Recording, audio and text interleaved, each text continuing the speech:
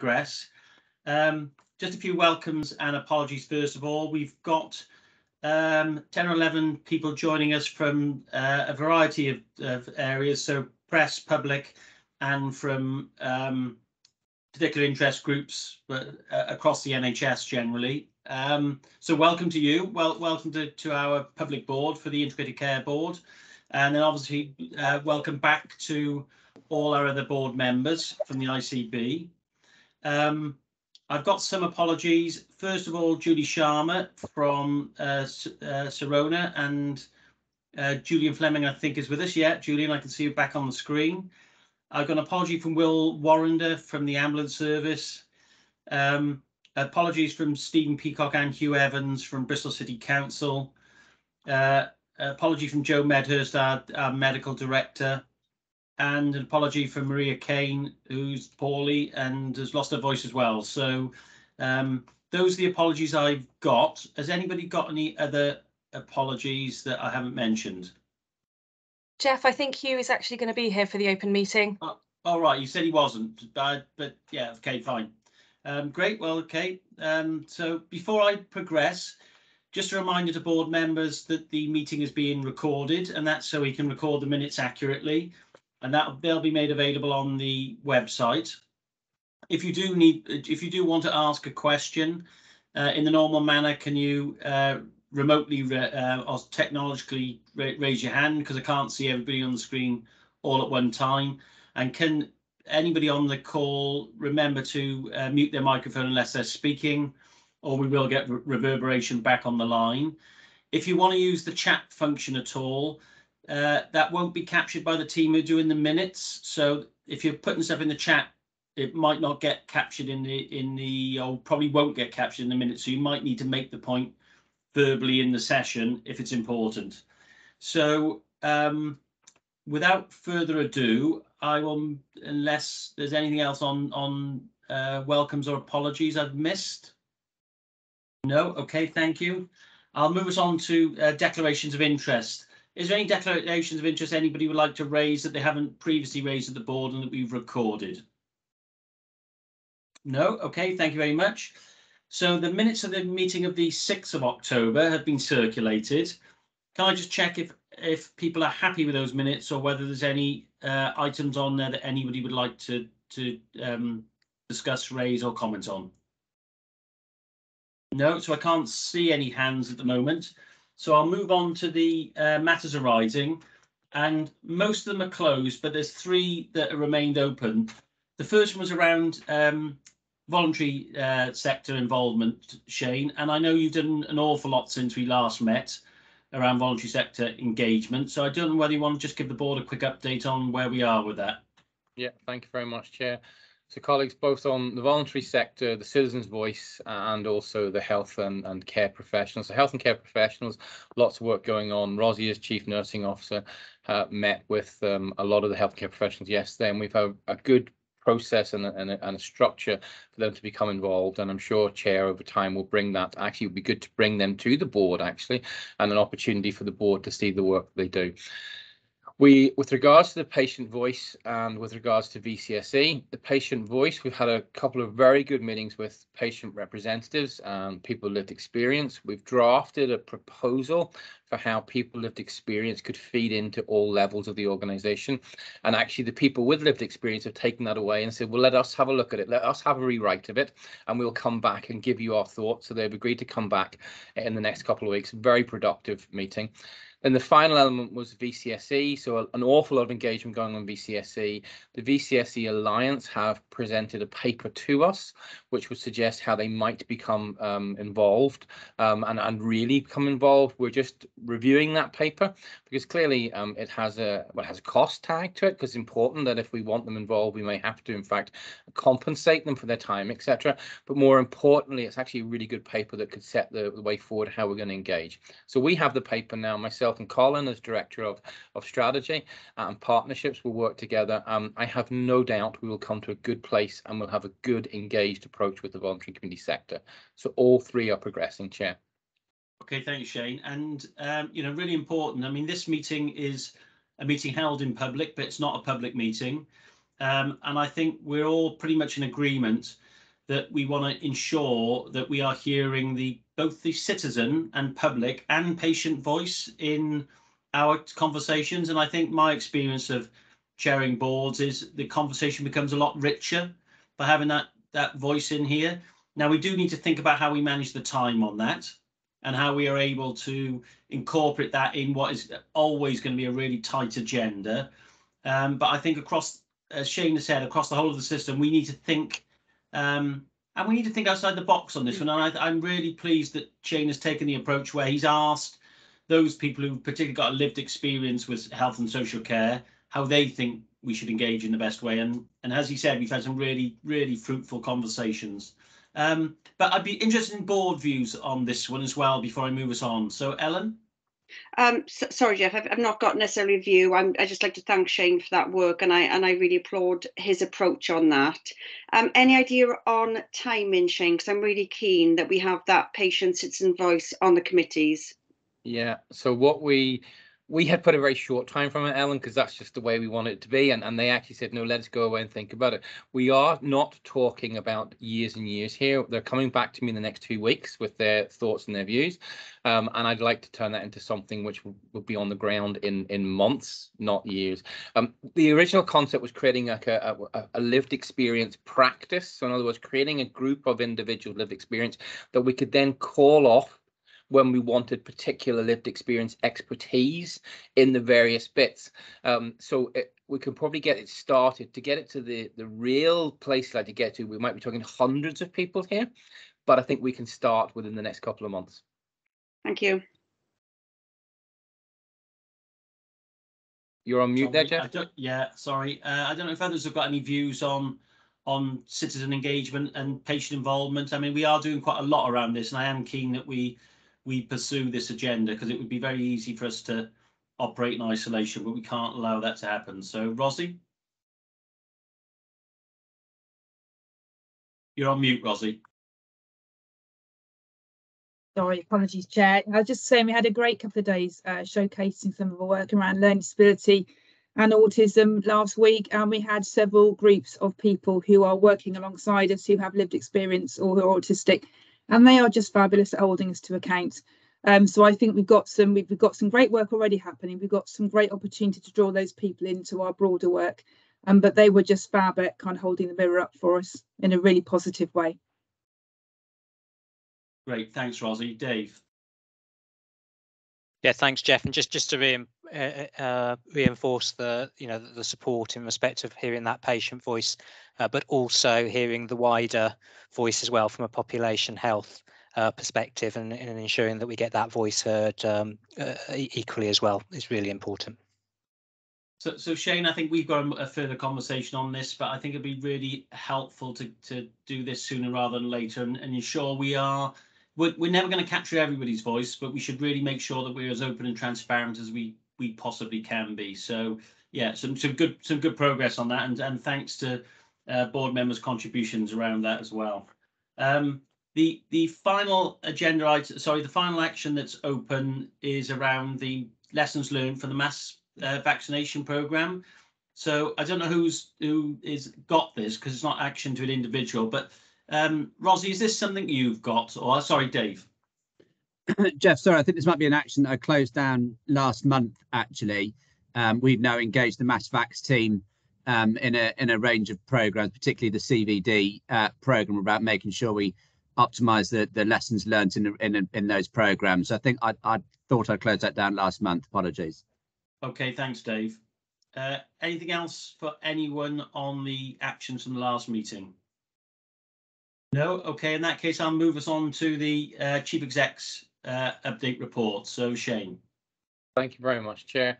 Um, colleagues, as always, um, I've tried to produce a, a, succinct document just to give an update. Lots and lots on the agendas there around decision making and in terms of uh, the issues with regards to governance and oversight, etc. So I, I haven't gone in that in my report, although they're important things from a chief executive perspective. The three things I wanted to call out in the report, and you'll have seen the paper. Um, the first one is about decision-making framework and the amount of work that's been going on between all partners to understand how we best make decisions.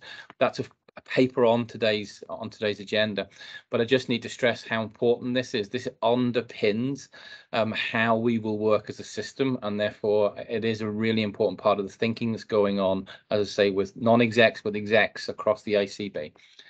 The second big thing, just to bring to attention, is I, I raised with you at the last meeting and the meeting before the ICB organisational restructuring we're going through.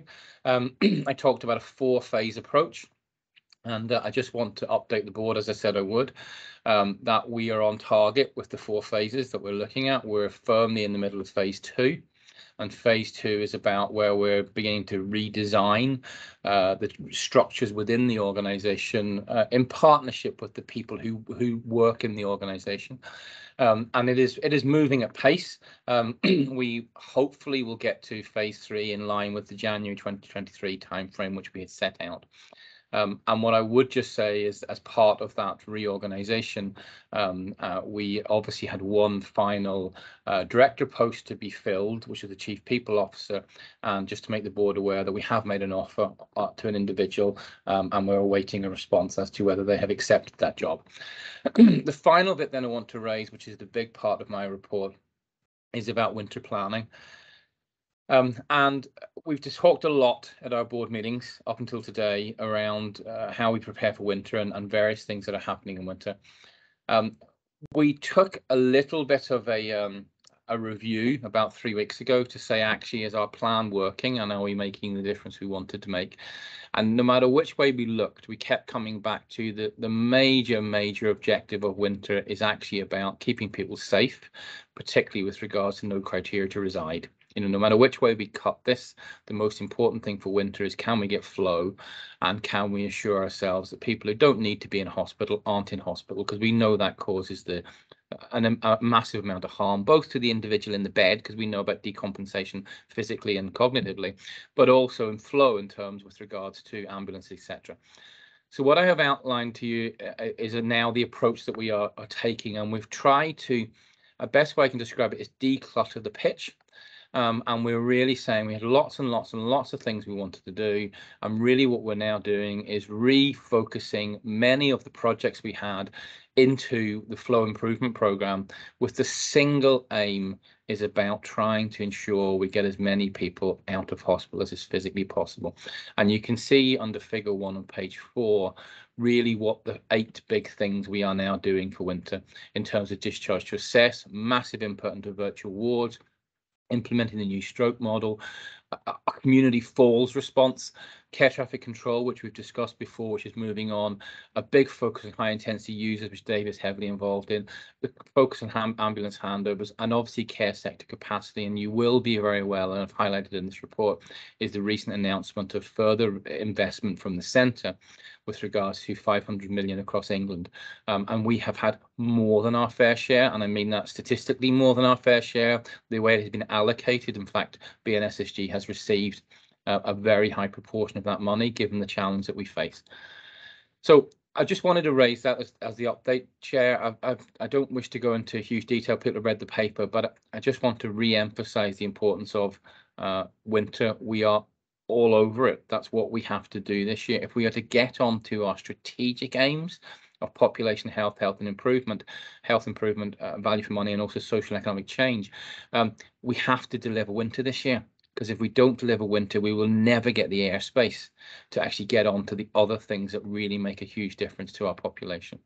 So you have the report, Chair. Happy to take thoughts, comments, or questions. Okay, thanks, Shane. I'll, I'll open up to um, comments or questions then. So I've got Steve first of all, then Alison. So thanks, Shane. Really welcome the report and absolutely agree that the focus that you're prioritising in terms of winter pressures it is a system uh, focus, obviously, because we can't do anything unless we all join things up.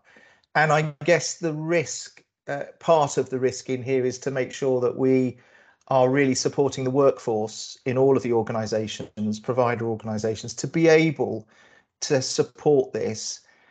And um, I guess one of our challenges is going to be the pace at which things need to move in order to get the flow to work. So everything has to be joined up.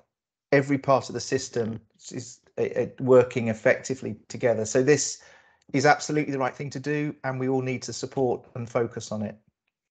Thank you, Steve. And I and I think the focus, I hope the focus is on making systems and processes work better so as to make the job of the individual in the ward or the job of the individual care worker, etc., actually manageable.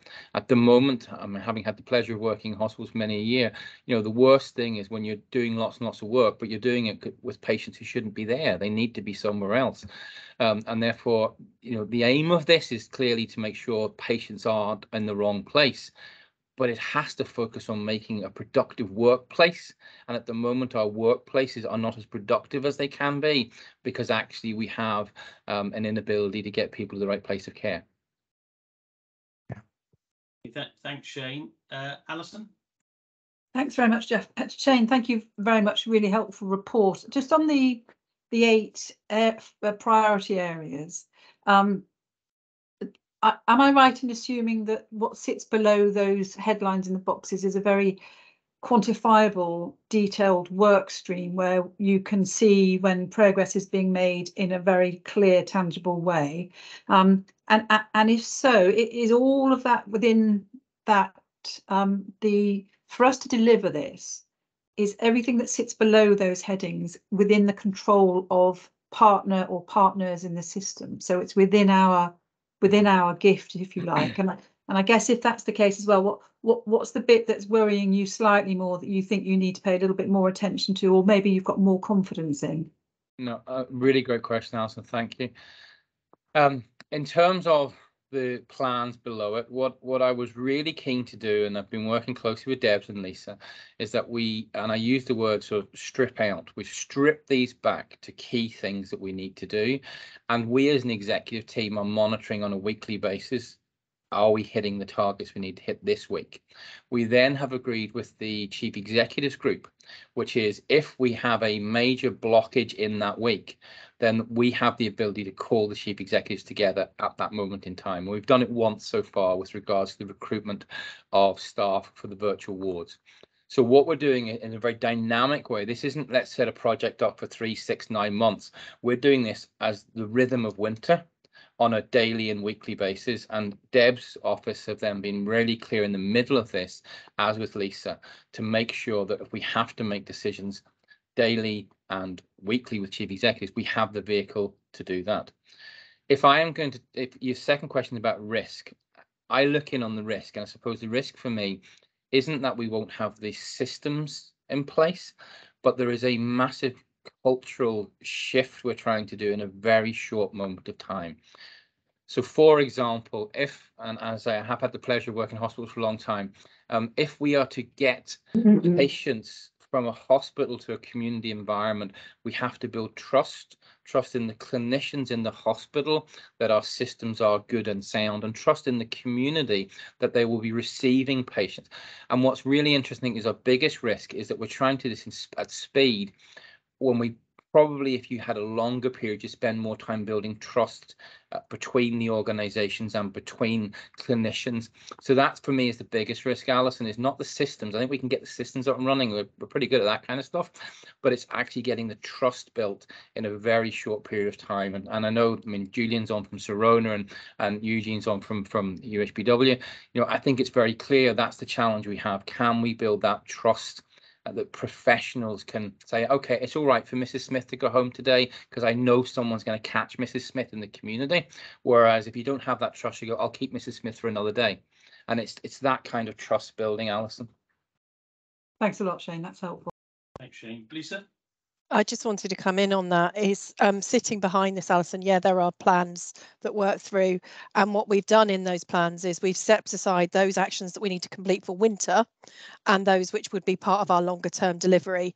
And some of the actions we're needing to take for winter wouldn't necessarily be in the direction of travel we want to do. So, for example, under discharge to assess, we want to move to a much more home based, independence based model of care we won't necessarily be able to do that and get through this winter and therefore we've commissioned additional um, nursing home beds but it's it's that clear delineation between these are the actions for now and this is about how we're then supporting going into the future direction of travel as well okay th- thanks lisa uh, any other questions or comments for Shane on his update?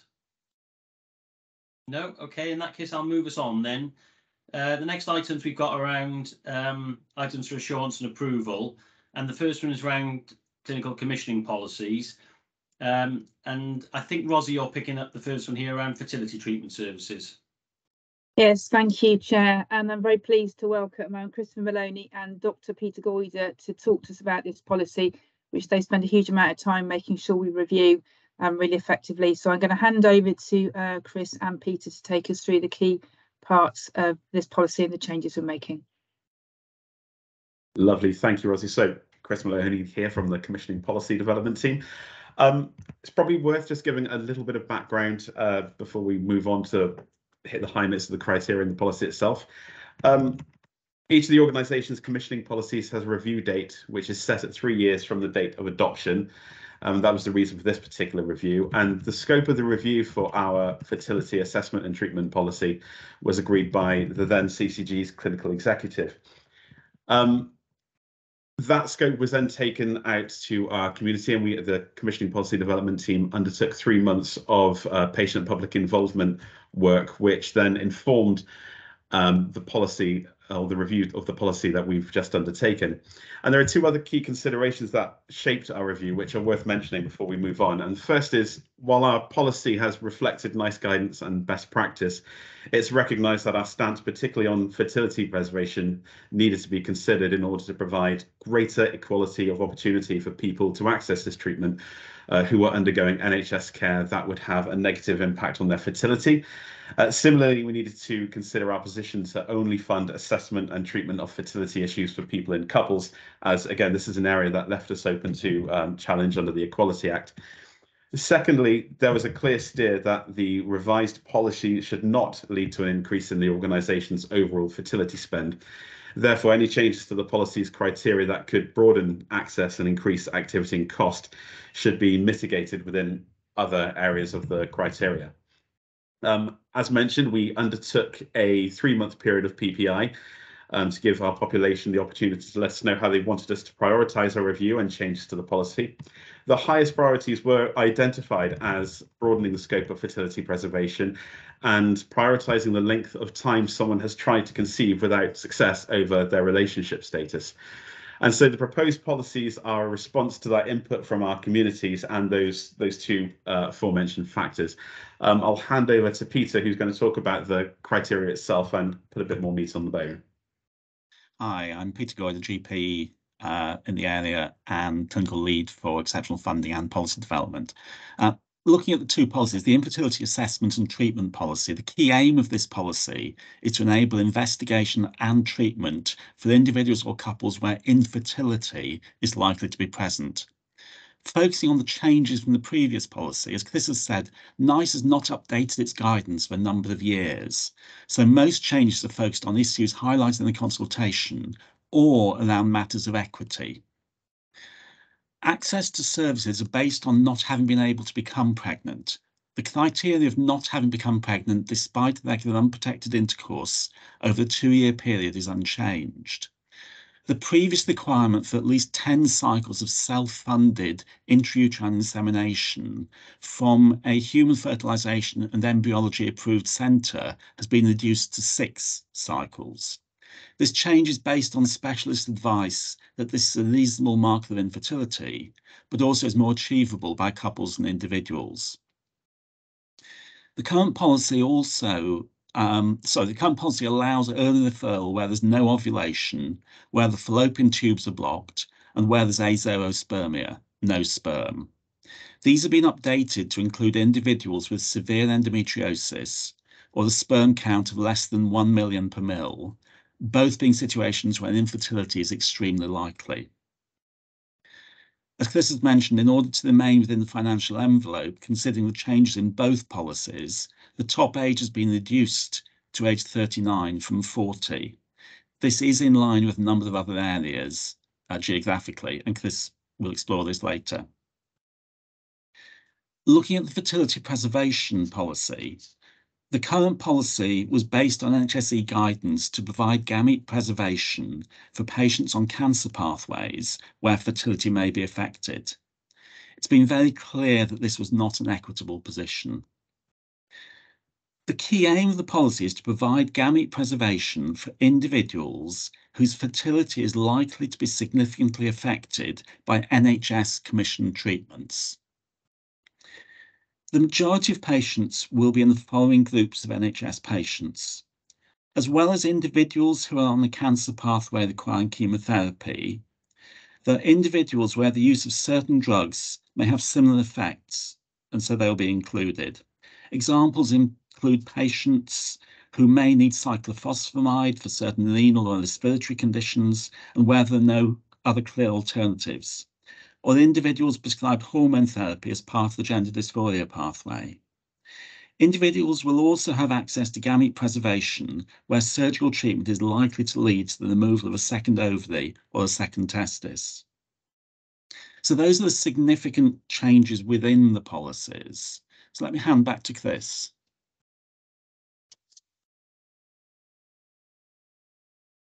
Thanks, Peter. So just to pick up on Peter's comment around we are lowering the age of prospective mother from 40 to 39 years. Um, it's worth noting that of the 100, the, the, last check of the 192 systems with a fertility policy, 50 have an upper age limit that is under 39, um, and that includes several of our peer CCG. So we are not therefore an outlier in this approach, um, among other systems. There is no change to the range or manner of services that we're going to be delivering, even though we're, we are broadening access to uh, to fertility services. We're not changing the services themselves. Therefore, the policy doesn't pose any any risk to patient care. The risks that have been listed in the paper that's been circulated are financial, um, and they are around the inclusion of single women predominantly within our new policy. So we don't know for sure how many single women will seek funding. No data is collected locally on that. That could inform us. So we've had to use some national data about this. It's also worth noting that of the very few um, health systems that do fund single women, this is generally done through an exceptional funding request and it's not managed under policy. Um, so it is possible that demand could be greater than expected, in which case a rapid policy review could be instigated. However, reflecting on our own EFR data from the last few years, it is unlikely that it will exceed the levels that have been indicated within the paper. Um, the second risk is connected to the transition period uh, for the policy that has been uh, identified in the paper. So we've lowered the upper age limit of the prospective mothers from 40 to 39 to offset activity connected to single women and broadening the criteria of our fertility preservation policy.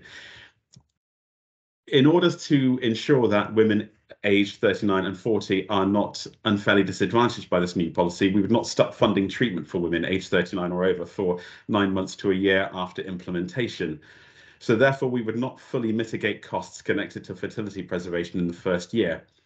However, some of the costs associated with new policy are currently being accrued as the CCB will fund fertility preservation via the exceptional funding route for people on a gender dysphoria pathway where the intention is to transition.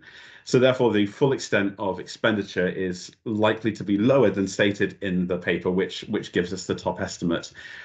We've been in touch with our comms team who have developed a handling plan for this and uh, local councils and MPs have been are being briefed. And so we are confident the appropriate level of scrutiny uh, from those partners will will also be taken.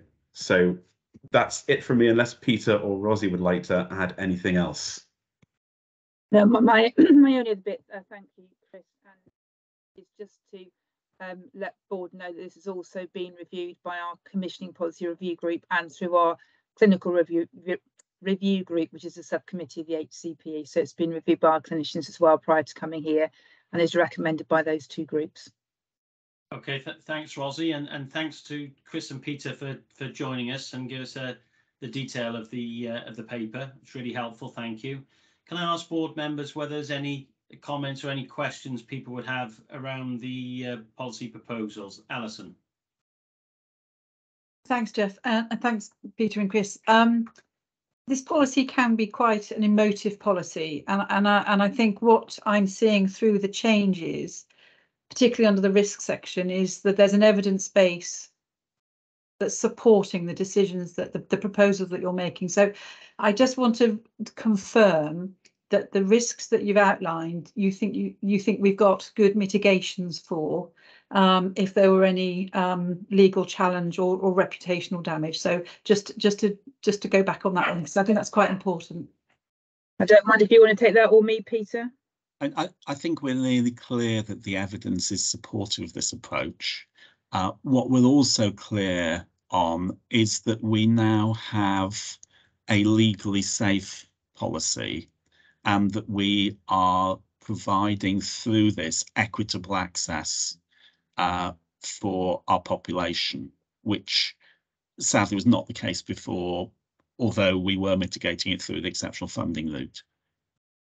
And I think the other bit, Alison, is the other risk mitigation is is any women who are in that age gap now where we're making the change will have their treatment honoured. It'll be for new referrals after this policy is signed off. So again, we're, we're, we're not disadvantaging women already going through the process because we were obviously we have to be mindful of women on that cusp of 39 40 and and uh, respecting their needs as well. Thanks, Thank you. Uh, any other comments or questions? John?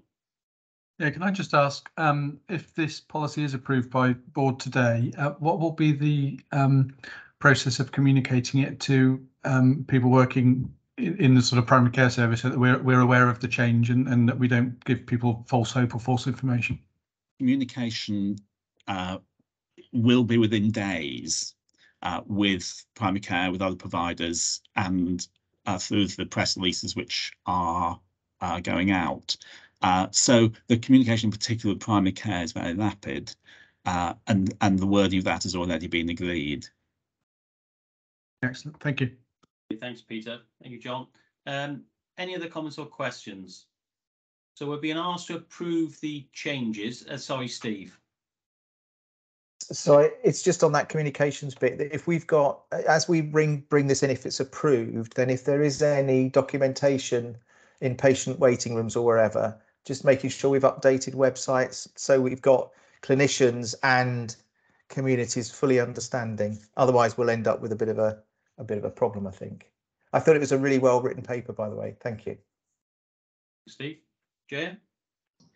Just a quickie, given that I've lived the experience of the whole IVF NHS thing and um, endometriosis and everything, uh, it would also be on the communication front really, really useful for anyone who was considering um, going through this process in order to conceive to know what the timescales are for different things um, in a way just general awareness so that they know that if, if they were going through this process they should think about it quickly. Because if we're cutting off a year it may mean very little in in the broader scale of things but it may make the difference for others. Um, it wouldn't have for me um, I, I, was slap bang in the middle of that that um, uh, 30 to 40 period. But um, yeah I, I think just having that communications piece for for patients and and citizens generally so that they're aware would be helpful. Chair, Vicky?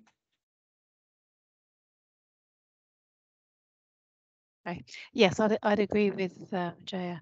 Um, and I think also communication. I, I think people, you know, women are actually having babies uh, at an older age now, and it's not unusual to have uh, a child. I had one myself at 42. So um, I think it is quite a, a, sort of worry that people might be thinking that they could go and start the procedures, um, you know, in the in their late 30s and still be able to achieve a child, whereas it, it could take an awful lot longer than that. But um, yeah, I think seeing women, I think, are often thinking about it a lot later than they used to, couples even.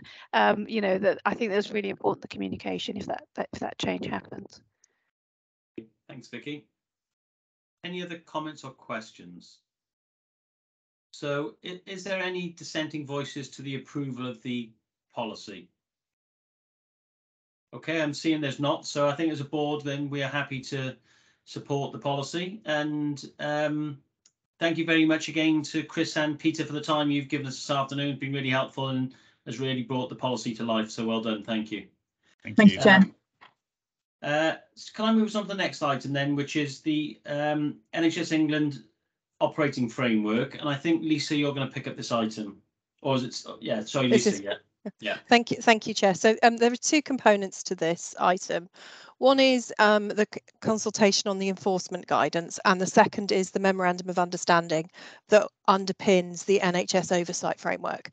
So, if I can start on the enforcement guidance, um, this is a consultation period that's underway at the moment from NHS England um, around the um, enforcement guidance that will apply to both providers of NHS services that hold a provider licence, but also to integrated care boards, which is why I felt it was important for it to come to the board in terms of our response.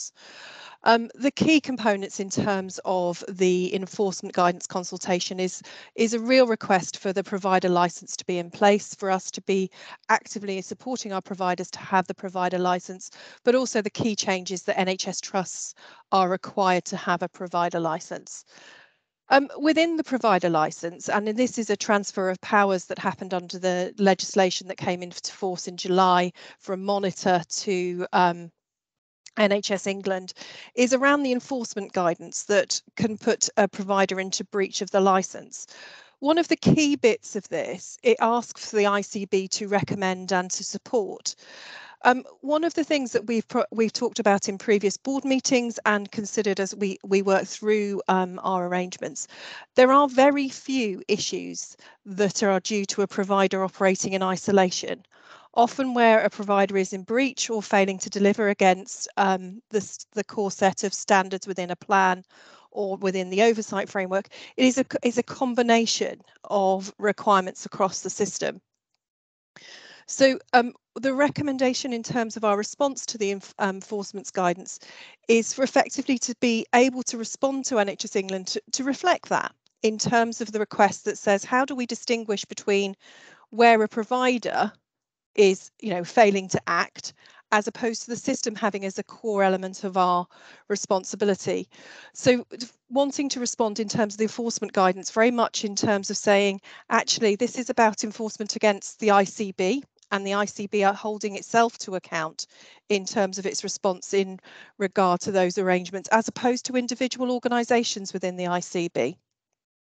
So that's the element around the provider license. The second is directly around the integrated care board. And the regulatory action proposed around the integrated care board is effectively um, two-phased. One is about saying where the integrated care board is at risk. And obviously the integrated care board is by its nature a collective of partnerships. It isn't one part of the organised system working in, in isolation. It's about how we collectively respond.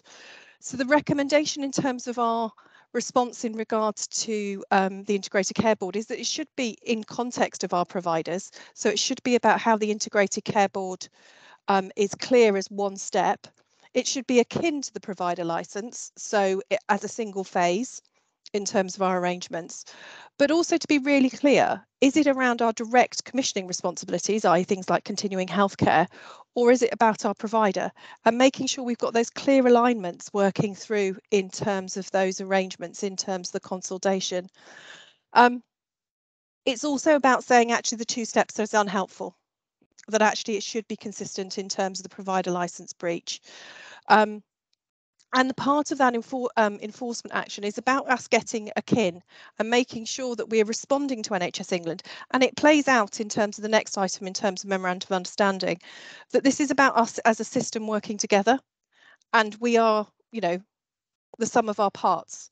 And actually, we can't put one part of the system into enforcement action without the whole system being impacted.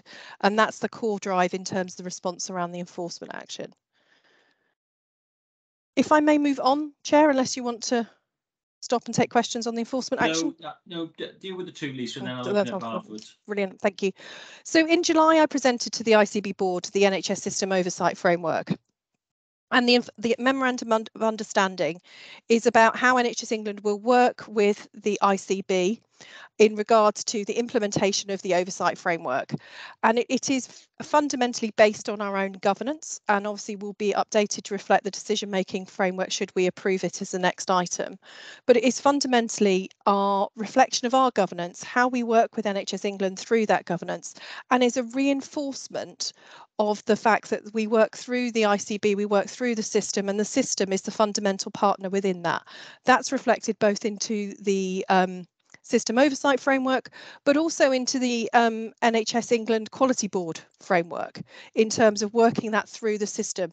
So it's about that reinforcement of working through the system, making sure that we have a clear relationship and arrangement.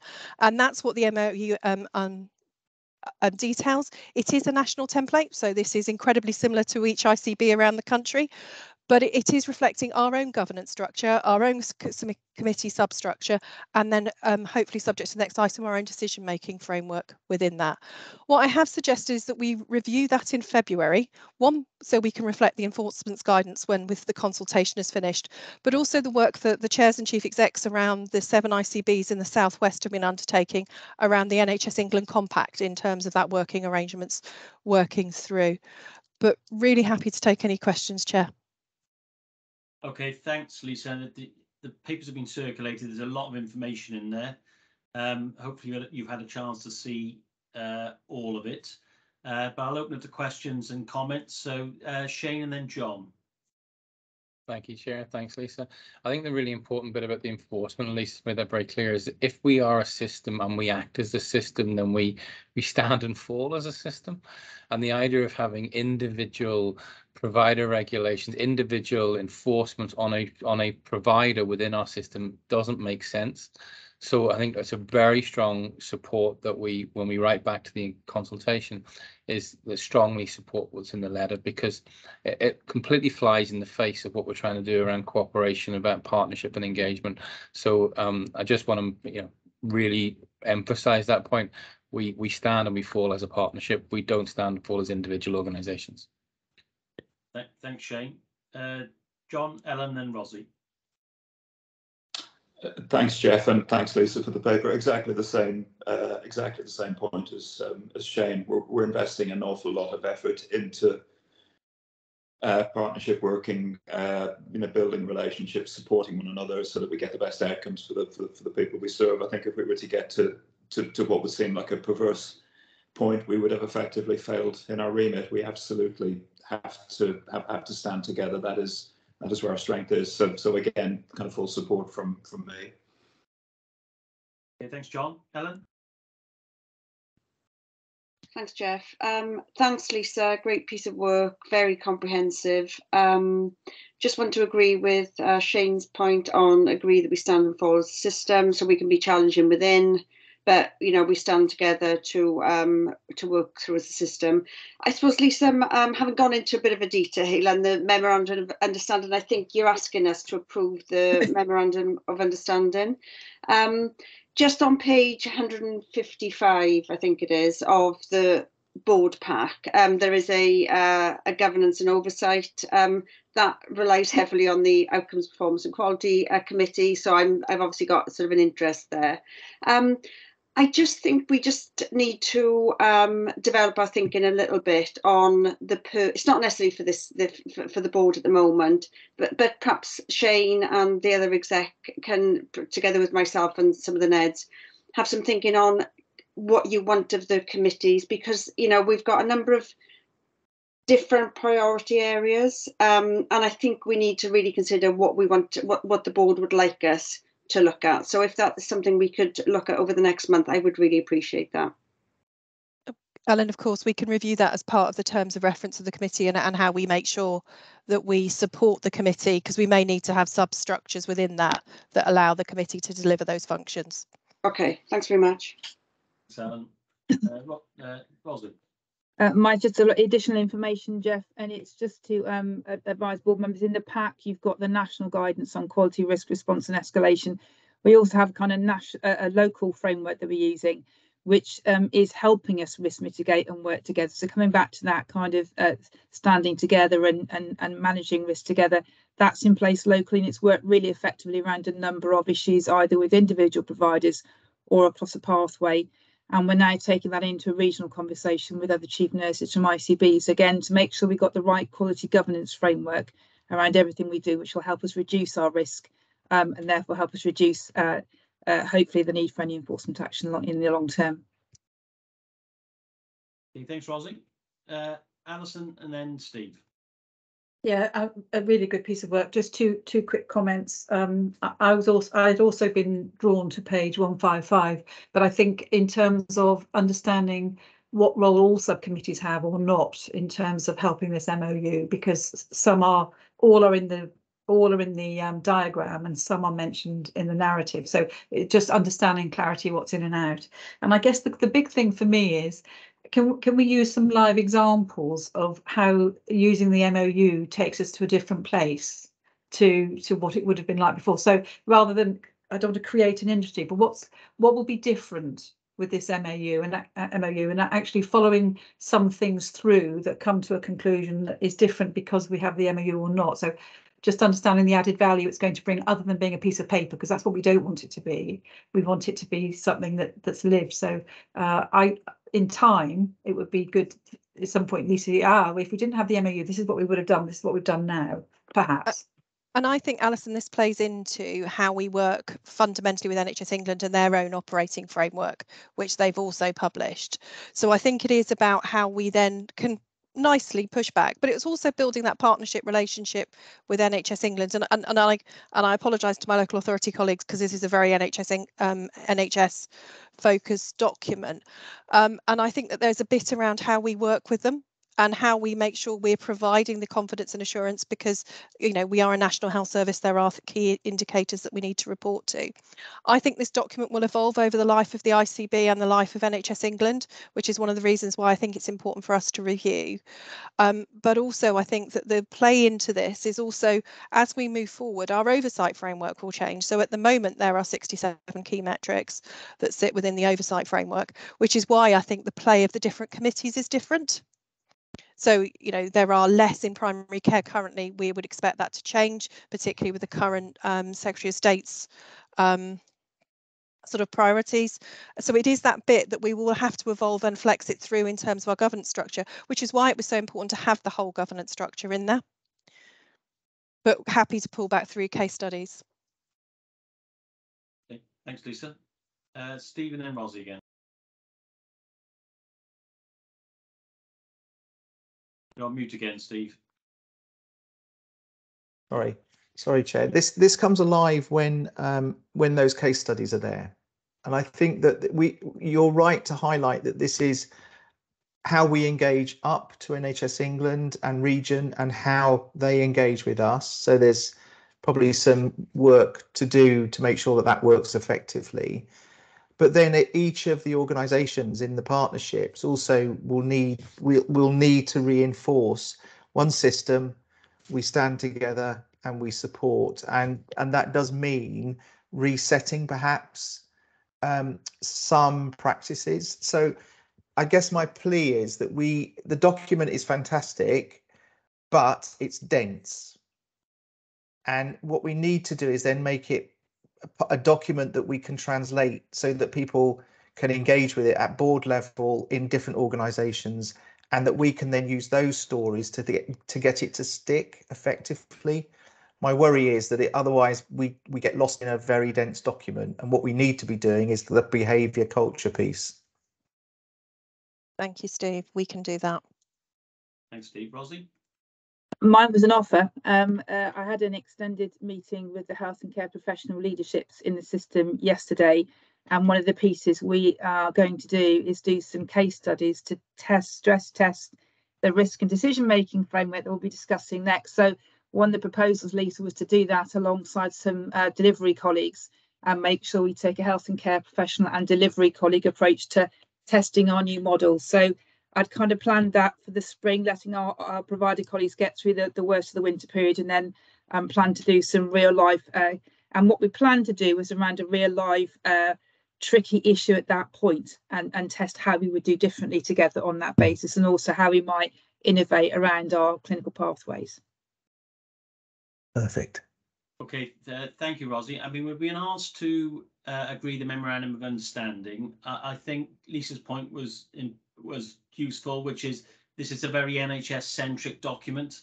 And I suspect if I was sat here from a local authority, I'd, be now probably putting the kettle on um, because, uh, you know, you how we engage as a system is all important. But I think that the point that Lisa made is a really good one, which is this is going to evolve. and I think if we're successful, this will evolve and, and the, even the oversight framework will start start to change significantly. So um, is there any dissenting voices to us agreeing the memorandum of understanding? No, okay, thank you very much. I'll move us on to the next item then, which I think hopefully will generate some discussion. Um, and that's around the decision-making framework for us as, as an ICB. So Sarah, I think you're going to lead on it. Thanks very much, Jeff. Um, and Shane did trail this a little bit in his chief exec's update. I mean, I think this is a really important um, document for us in terms of just giving that clarity about how we're going to be making decisions in the ICB and for for all of the people within our system, for them to have the clarity of of where different decisions get made. So um, the Health and Care Act changed um, the responsibilities of all of the statutory, it, one created us, but it also changed the responsibilities of all of the statutory organisations within um, the system. And this really is reflecting then that those changes and codifying that for everybody so that they can understand. It is still, uh, I'm so another apology to our local authority colleagues because this is very much about the NHS and how the NHS will make those decisions.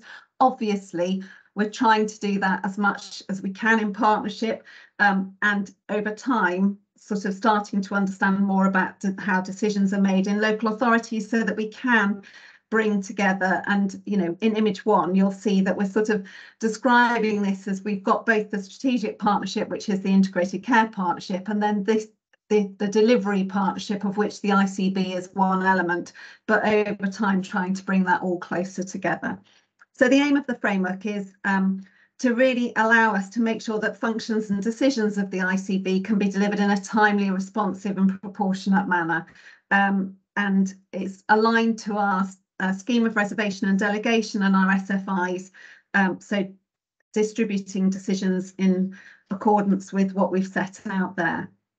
So image two um, on page uh, 219 of your pack basically um, is really what we've set out in terms of the different levels of decision making. So um, just giving some examples of the types of decisions that would be made at those different levels um, and so that so that people can be clear. So um, you know the the integrated care partnership very clear that that's all about setting the strategy. It doesn't have any delegated authority. Um, it is just it is about setting the strategy the ICB board then taking decisions on everything over a million pounds and setting out things like the uh, agreeing the joint forward plan, the um, operational plans, the medium term financial plans, for example. Um, the committees then really having that oversight and assurance function of all of the um, elements of our work, and then the system executive group um, being there to um, to one, progress things and actions uh, between board meetings, but also um, for decisions that are sort of between half a million and a million um, so that they can be made in a more responsive way. And then those decisions will be reported back up to the board and then the assurance committees can uh, dig into those if they, if they choose to.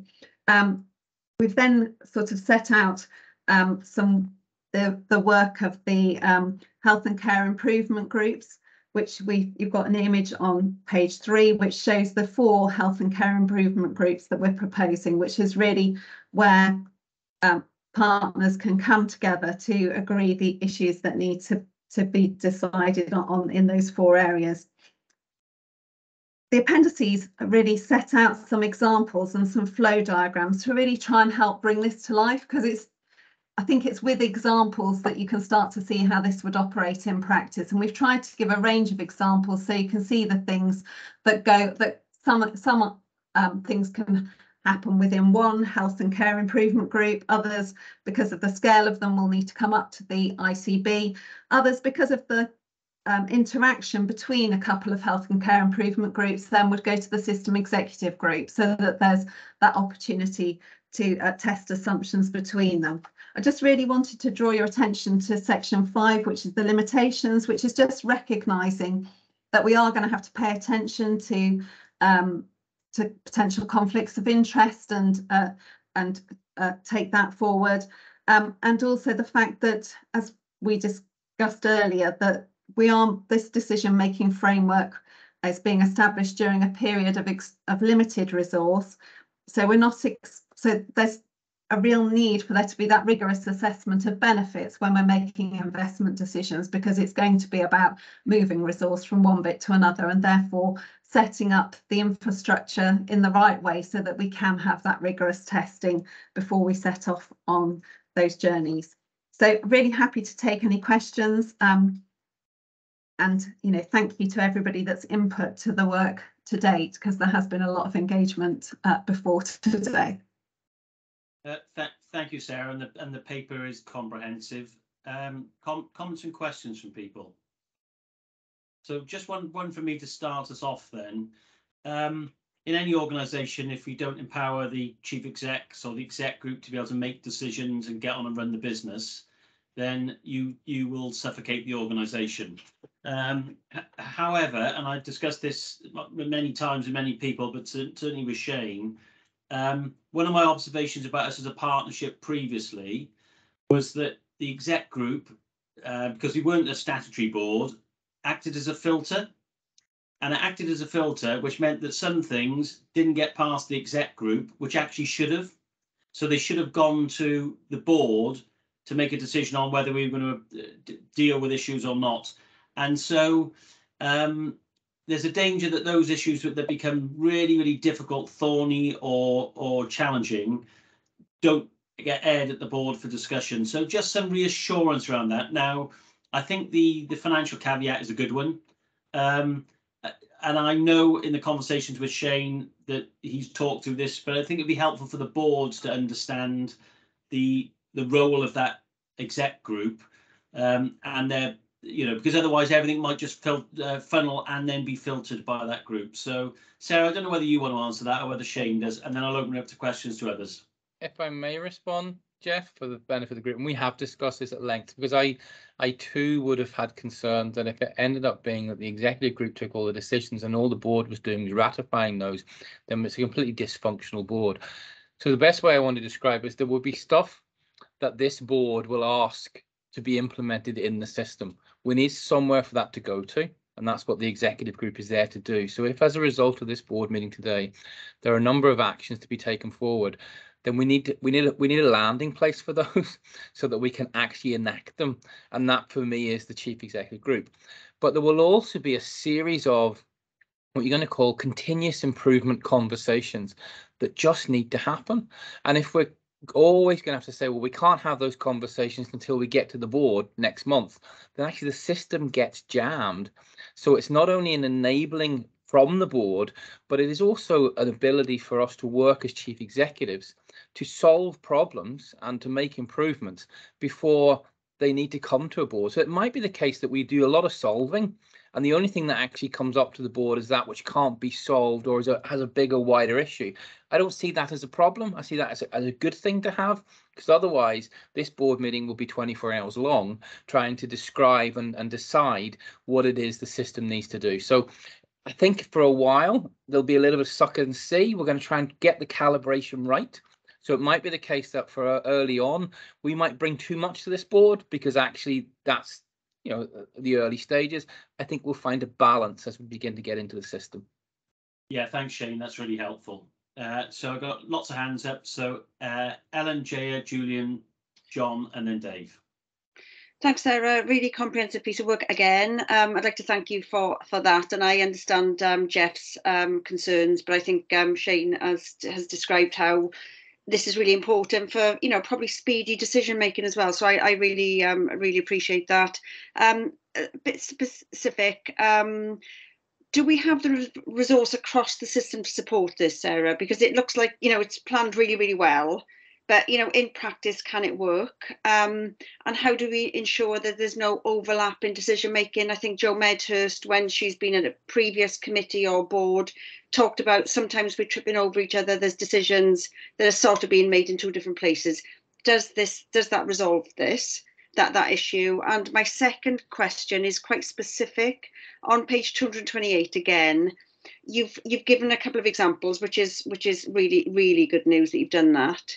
Um, but you've given an example of testing this approach where the my committee again, the Out- Outcomes Performance and Quality Committee, would sponsor an initiative, but not provide any input, which just feels a little bit uncomfortable. I think I'm just uh, so my question would be, how could you sponsor it if if there isn't any input? But you might be able to answer that. And I'm happy to take that answer at a, at a further stage. It doesn't have to be done at this board meeting. Thanks, Jeff. Okay, thanks, Ellen. Uh, Sarah, I don't know whether you want to come back on that.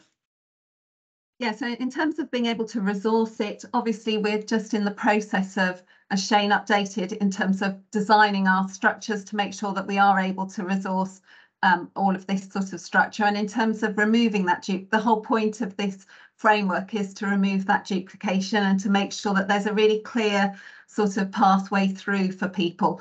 There will, of course, sometimes be um, some decisions where they need to be discussed in multiple places because of the com complex nature, but it's trying to help people see the route through that more clearly rather than it being, you know, sort of scattergun, which I think it has been.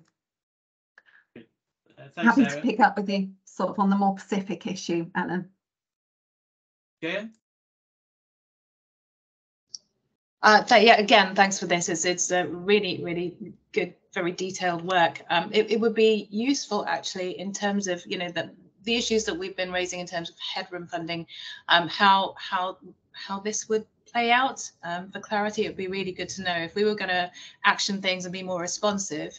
Um, it would be useful to know how this would play into that kind of decision making and whether or not we would still have to wait through many many layers or a number of layers in order to to get things done that might require faster decision making. Yeah, I don't, I don't know whether Sarah, you want to pick that up, or and there's lots of hands going up, so it'd probably be worth listening to the to the conversation and then perhaps summarising at the end, and certainly for Shane, because I suspect Shane will want to come in as well. Um, so John, Thanks, Jeff, and um, thanks, Sarah. I really welcome this. I think it's a you know really good, well thought through piece of work, and I think it's an important plank in in, in how we want to work, and it gives the empowerment. I was just thinking about your point about it being drafted in a time of real flux, and it, would just be worth, if you haven't already considered, we just you know build in a review at some point and to you know to learn from it. We don't need to we don't need to set it in stone. I say we could revisit it um, at, at at any point and um, refine it as necessary. But thank you. I think it's uh, excellent. I fully fully support. okay, thanks, John.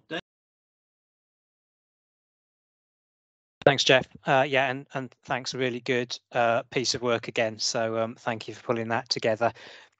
Just following a bit of a theme from the last item and some of the the stuff you said, Sarah. There's something for me just around about the clarity of what is in and out. And as you've quite rightly said, primarily this is a governance decision making framework uh, that's relevant to NHS funding decisions. But the first recommendation talks about approving it on behalf of the ICB and all partner organisations. And I think we just need to be clear that it's not necessarily all partner organisations in respect of the wider ICS piece. And I think the complication potentially comes in because, of course, it's a governance decision making framework for the ICB, but we also quite rightly talk around about the partnership that's required for the ICS uh, delivery um, uh, as well, and just being clear around those two things. And um, and by way of example of of that, when we look at things like the um, ICB health and care improvement groups, which are quite rightly around about um, uh, achieving delivery of the wider ICS integrated care strategy.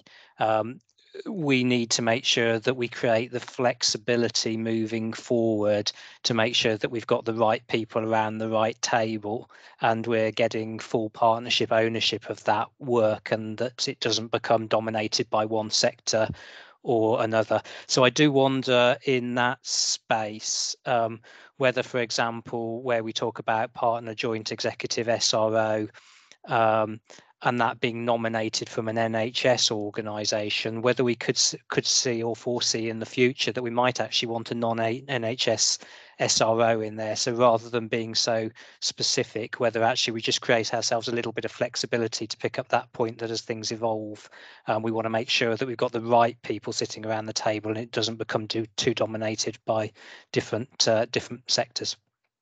Thanks. Uh, thanks, Dave. And um, there's, there's a few more hands going up, but let's let's listen to the commentary, Sarah, and then pick them all up, at that point. So, Eugene.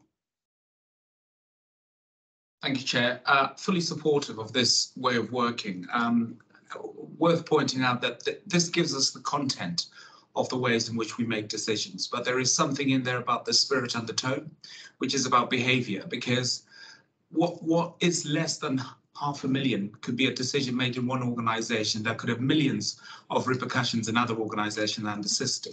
So whilst we absolutely commend that sort of the broad parameters, there is a lot more to do with our behaviors and how we show up and how we absolutely have the opportunity to test and challenge um, approaches even if they don't meet the financial threshold because implications may be, be wider and deeper than anticipated. Thanks, Eugene. Really good point, that isn't it? About you know, a million to one person isn't the same as to, to yeah, good point.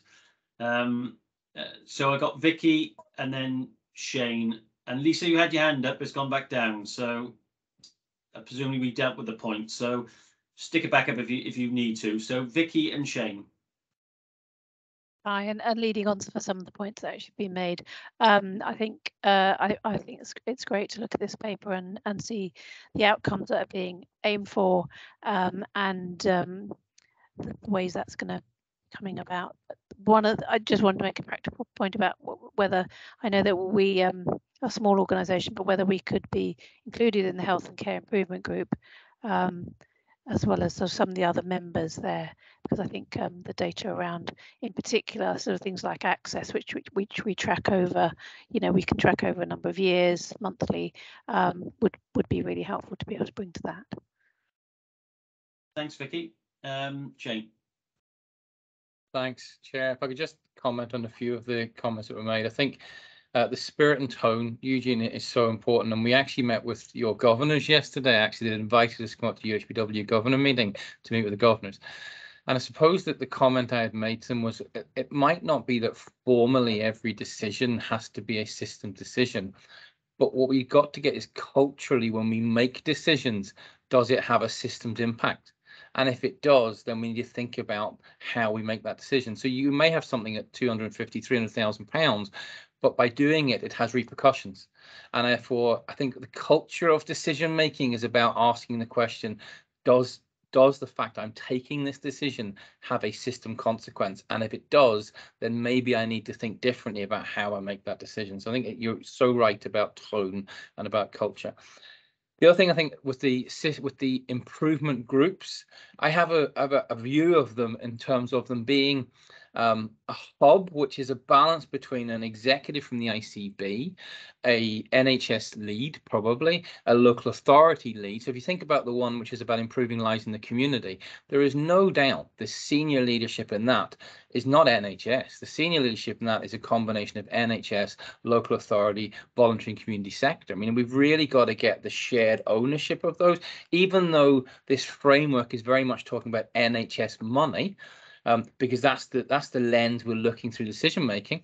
Uh, but it isn't about the improvement groups being NHS improvement groups. The improvement groups are systems improvement groups, and therefore all partners will need to be a fundamental part of that, including the voice of lived experience. That's that comes back to the earlier conversation we had. You could imagine around that table will be people of lived experience feeding directly into the issue of improving lives in the community or, or people with mental illness, etc. So I think uh, the document is itself a really great start to help us make decisions. But ultimately, the proof of this will be when we get into the improvement groups, whether we're able to implement stuff and make change. And I'll just make one very other small reference. I was asked to speak at a conference at the beginning of the week, uh, speaking on how do you make good decisions. It was a really interesting conference. But one of the things was, I think we concluded that NHS, sorry, ICB leaders do not make decisions.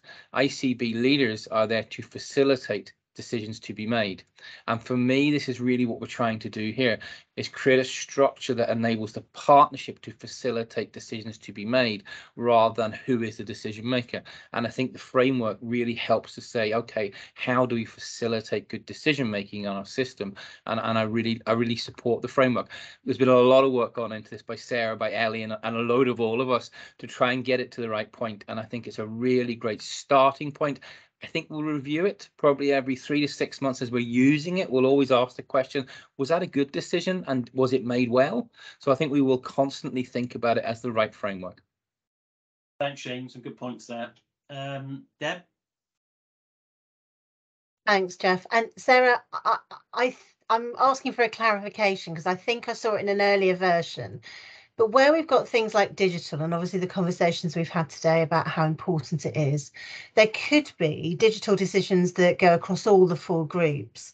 In the 2A section, it also says enablers. So where we've got a really robust um, digital leadership executive already, I presume that's in the 2A space. So it would consult with the improvement groups, but the decision making would be at that enabler and presume the same for workforce, just so that we don't end up with a bit like we've got now, everybody has to go to six different groups before they've actually even got a decision made. Is that is that a correct assumption?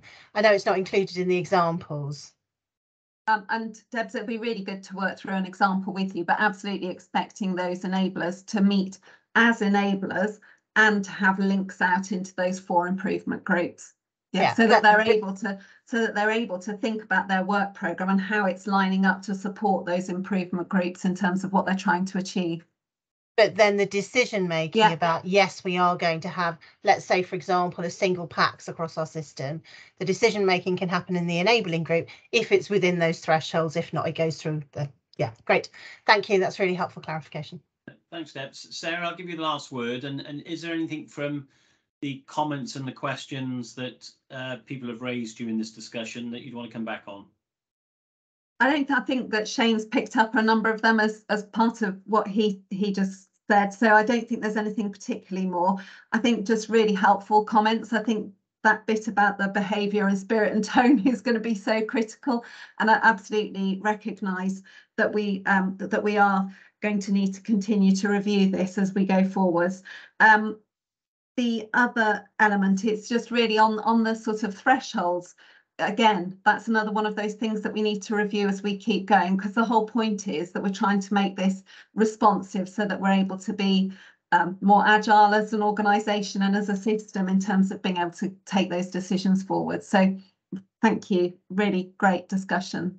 Okay, thanks, Sarah. And I, and I think the point that Shane made around uh, us signing up to this, if we agree this and we we approve the paper and the adoption, then we should all expect to be called out to justify why we've taken a decision without consideration of the wider system, if we've done so. And there will be times when we need, we can justify that. Of course, there's going to be individual uh, decisions for organisations, as Shane said. But I, I think this is a sort of, sort of recognising that as a board, we there's a legitimacy in calling people out when they've taken decisions without considering the wider impact, um, both positive and negative. Um, so I, I'm just putting out to everybody. Uh, Dave, I'll bring you, perhaps bringing you in first then, if there's a, a point you want to make. Sorry, Jeff. Yeah, if, if you are about to move on to the, the vote of approval, I think if we could do that in such a way that it reflects Shane's comments, because I think there is some greater flexibility that could be built in, for example, to the membership of the terms of reference of some of those groups. I was satisfied with what Shane said, but I don't think that is necessarily reflected in the words of the document at the moment. So if we could give Shane that sort of flexibility to to update it on that basis, I, I'm more than happy. So which bit are we talking about there, Dave? Specifically, we're talking about that that ability to be able to make decisions in in isolation. So, um, so I, of- Yes, I think th- so. An example for me, Jeff, would be at the moment the document says that the partner SRO, for example, on the improvement group comes from an NHS organisation. I think we should have the flexibility to choose which is the best organisation for sake of sake of argument as a small example. It's in the detail, but uh, I think it's just important at this point that it's reflected appropriately. Okay, th- th- thanks, Dave. And if there's any other specifics on there, it'd be really helpful to, to feed those back into Sarah. Sa- Sarah, did you have another? Uh, did you want to come back on that? No, I- it was only that I was going to highlight that, Dave, yes, I really, I've heard that and I'm, you know, very happy to incorporate that. And I know that when Shane and I had spoken about the leadership of like the improving the lives of children's, we was discussing that it'd be really great if you had maybe like Sirona and a director of children's services, because absolutely recognising, and the whole point is that although this is NHS focused, it's really in that vein of trying to get to that integrated delivery um, sort of infrastructure, which includes the local authorities absolutely and the voluntary sector too. So yeah. Thanks, Aaron. Thanks, Dave. Po- points well made. Um, so can, can I just check then if we're happy to agree the um, adoption and implementation of this approach, uh, or if there's anyone who's not? No, okay, so I take it we've agreed. So I'll, I'll move on to the next item then, which is the delegation of decision making for winter expenditure. And I think Lisa, you're going to talk to this. Thank you, Chair. And there's nothing like putting the um, decision-making framework in action. Um, so um, we've received an additional winter allocation um, for um, to address um, effectively no criteria to reside to improve flow across the system. It has been allocated, as Shane highlighted in here, his chief exec's report um, based both on a fair shares basis but also against the scale of challenge across our system. Um, it has been split into four segments, so one to each of the three local authorities and then an allocation of 8.3 million to the ICB directly. Um, it is intended that it will be put as part of a pool budget alongside the Better Care Fund in terms of that um, allocation. What I'm asking of the board today is for delegated authority against the 8.315 million that's been allocated to the ICB to be delegated to the Chief Execs meeting on the 15th of December to allow that spending plan to be agreed and submitted. Um, alongside that, we are trying to pull together a virtual joint Health and Wellbeing Board chairs meeting in order to sign off the better care element of that funding, just to try and balance the both the NHS decision making versus um, local authority in order to have that allocation. Um, the component allocation is coming down in two chunks. So we have a spending plan that must be submitted by the 16th of December. Um, we have activity monitoring that will be submitted on a fortnightly basis from that point on. Um, and the second tranche of the funding, um, which is 60%, will be allocated in January, subject to us having an approved spending plan um, nationally, but also um, progress on delivery against that. Um, so that's my request to the board, Chair. Okay, th thanks, Lisa. And that's I guess this touched on what we talked about with the ability for the executive to be able to make decisions and get on with things operationally. So um, any comments, observations, Steve? Yep, perfectly sensible. Absolutely support it. Um, what we need to be able to demonstrate, I think, on an ongoing basis is impact of how that money is making the difference. Uh, it would be awful if we get it and then we don't get the impact. Yeah, thanks, Steve. Good point. And I think that needs to come into our, our committee reporting as well. So, Ellen? Yeah, um, so yeah, I think this is a, a great opportunity. Um, I note that um, the the is based on measurable improvements. Am I right, Lisa? Yeah. So 40% now, 60% in January. Um, I suppose this ties into Shane's um, diagram earlier on about sort of uh, that focus on um, flow, which you know is again commendable.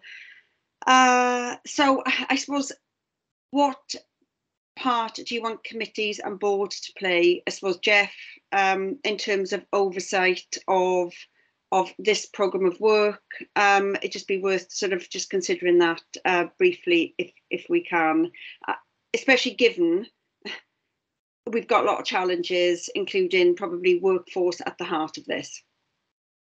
Yeah, because it will, you know, it's a big chunk of money and it will divert attention and perhaps Yep. rightly so. But um, so, so Lisa, I don't know whether you or Shane want to pick that up about, you know, re- reporting to committee or reporting into board um, and how, how whilst it's, it's delegated spend, um, there still needs to be some element of governance around that because it's a lot of money. So my ex sorry, No, go Shane. ahead, Lisa. Go ahead, Lisa. Uh, so my expectation is that we will obviously be doing our fortnightly activity reporting back into the national team, but I would expect that we would be doing updates formally um, as part of our winter reporting both to the outcomes quality and performance group, but also would be going through into the um, chief execs group. So I think we'll have both um, parallel in terms of that reporting. Um, and also um, we know that the scrutiny that is on all of us, uh, both as partners but also in, as individual statutory organisations through this funding, will make sure that we are fully briefed on it at all times. Because I think the scrutiny that plays out on this is really it will be really significant. Can I, Jeff, can I just come in for, for one second? Could I just sort of plead for anybody, you know, whether it's board members or whether it's the committee, that we just have a really simple sort of one page template that just outlines sort of how we are performing so that it's simple and easy to grasp. That, that would Yeah. be really helpful. Thank you. Yeah, so otherwise it'll get lost in the 900 pages. Yeah, could I, if I, if I may, Jeff, just, I think this actually lends itself to very simple reporting. And the reason why it lends itself to very simple reporting, the central measure here is no criteria to reside. And therefore, the very simple reporting is, are we making a difference in the number of people who are in hospital who shouldn't be in hospital? So I think we can bring it back to that. It's much more complex than that, but we can bring it back to that. So we can see, are we making a difference to that number? Because that is the number that we will be monitored on at a national level. That's what that's what government will be looking at. They've said very clearly this money has been allocated to us disproportionately. We've got the biggest share because we have the biggest challenge of no criteria to reside. Thanks, Shane. Uh, thanks, Ellen. Uh, I was about to come back to you on that point to see whether we'd answered the question, but um, yeah, good point. Dave. Yep, thanks, Chair. And just wanted to build on both of those points and not wanting to overcomplicate um, Shane's simplicity of reporting back and rec- and, and I and I do recognise the the time frame around spend um, and, and and the simplicity of the performance criteria. But I think it's also important that as we work through the solutions and we're looking at the short term solutions, we're all we're doing that in such a way that we're building medium to long term sustainability into the system so that we don't take a short term measure that sorts this year but then leaves us with similar issues next year so again just making sure we get that balance between short term and medium term long term sustainability and system change uh, as part of that work is going to be critically important Yeah, thank, thanks, Dave. So, so can I ask whether we are happy to support the delegation uh, of the money to the um, executive function uh, around winter pressures and around winter expenditure? Any, any dissenting voices? No? Okay, great. Thank you very much. I'll move us on to um, our last set of substantive items for the, for the uh, public board then. Um, the, we've got the update from the ICB committees. I think we'll handle this with the chairs first of all, um, just giving their update as to how they see their committee uh, progressing and, and any issues they'd like to raise with the uh, the ICB board, and then to the executive to talk about a bit more of the detail around some of the, the specific issues for the committees. So let's start with yourself, Ellen. Okay, so thanks, Jeff. And and what I would say is, I think um, my um, significant item that I updated on was covered in the the closed session earlier on. The other area that I just wanted to touch on was patients with no criteria to reside. So in some ways, we've covered an awful lot that would be a concern from the Outcomes Performance and Quality Committee. committee. Um, no criteria to reside re- remains at high levels both uh, across both acute and community. Um, and we're not yet seeing the impact of the winter schemes that we discussed in some detail at our October board, um, which I think Lisa's sort of referred to um, today. Julie Sharma is leading on behalf of the ICB a focused piece of work on no criteria to reside. I was hoping that I could have brought Julie in, and I'm not quite sure whether Lisa um, we're able to facilitate that now. I'm just looking. Well, uh, I was going to say, Ellen, that is the piece of work that Shane highlighted in the chief exec's report in terms of the Home First yeah. project that Julie is obviously as sponsoring chief exec to. Yeah. And and and that is the program of work that um, Deborah, myself, and Dave, in our respective leads, are obviously ensuring as execs sponsors to make sure that we deliver through those areas as our core elements through that. Um, and, and certainly um, would be very happy to circulate to board members if they would be interested um, the project initiation document that um, Deborah has pulled together in terms of that piece of work, which I think was discussed at, um, and shared with the chief execs. I want to say two weeks ago, so we could do it in that route. Ellen, I'm recognising Julie's on annual leave today. Okay, well, I, I'd find that helpful. I leave Je- Jeff to make a decision on whether that needs to be sort of circulated further. But what I was looking for was really progress that's been made. What are the challenges, and is there any further support from around the table? But what I'm reading in that is that we are working system wide anyway, Lisa. So, um, so Jeff, I think that was probably um, the biggest area for um, of concern for um, the committee and lots of different roads, whether we're looking at cancer, general elective, um, seem seem to come back to workforce, and I'm not sure whether we should um, at some point sort of make reference to um, the nurses' strike and the implication on that for us as a system. Yeah, absolutely, Ellen. I think we'll, we'll pick some of that now in uh, Jay's input on the people committee. But can, I- can I pass to Lisa and then to Rosie as to anything that you want to raise around quality performance and outcomes? I, I just wanted to raise to the board's attention um, that we are making progress against our 104 78 weeks and our 52 week wait performance. We are in line with trajectory. Um, I know that those numbers still are at high levels and for those individual patients um, it is clearly very distressing but we are making that progress um, and we are still working to achieve the 31st of March 23 target in that reduction. And I just wanted to raise um, the progress that NBT in particular have raised made in terms of cancer two week waits. It's not yet being reported in the numbers but we are um, by the hard work of their team in terms of putting on mega clinics and also um, const- um, consistent validation of the waiting list. We are now seeing uh, uh, starting to see the improvement on a two week waits for breast surgery, um, which is really important in terms of for those individuals, but also in it moving us towards achieving the target for both two weeks and um, 62 days. Okay, th- thanks, Lisa. That's really helpful. Uh, Rosie. Thank you, Jeff. The only thing I was going to draw out was around C. difficile, which is a, an infection. Um, and just to note that we're seeing a national rise in rates of C. diff infection in the population. Um, we remain under the England and under the regional average, but there's a national rise. Um, so there's work ongoing at national level to, to understand why that is, because it has quite a significant impact on mortality for our older people. So we'll be watching that very carefully through committee and um, if need be, working with our Meds Up colleagues about any change in practice we need to apply. Okay, thanks, Rosie. So can I ask board members whether there's any uh, comments or questions they want to raise with uh, Ellen, Lisa or Rosie?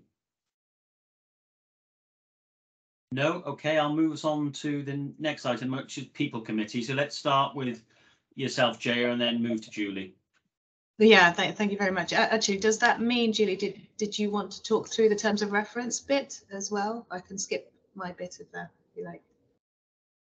Um, yes, I can do. I think there's an item, Jeff, for approval. It was the revised terms of reference, and then there's two, the two committee meeting reports.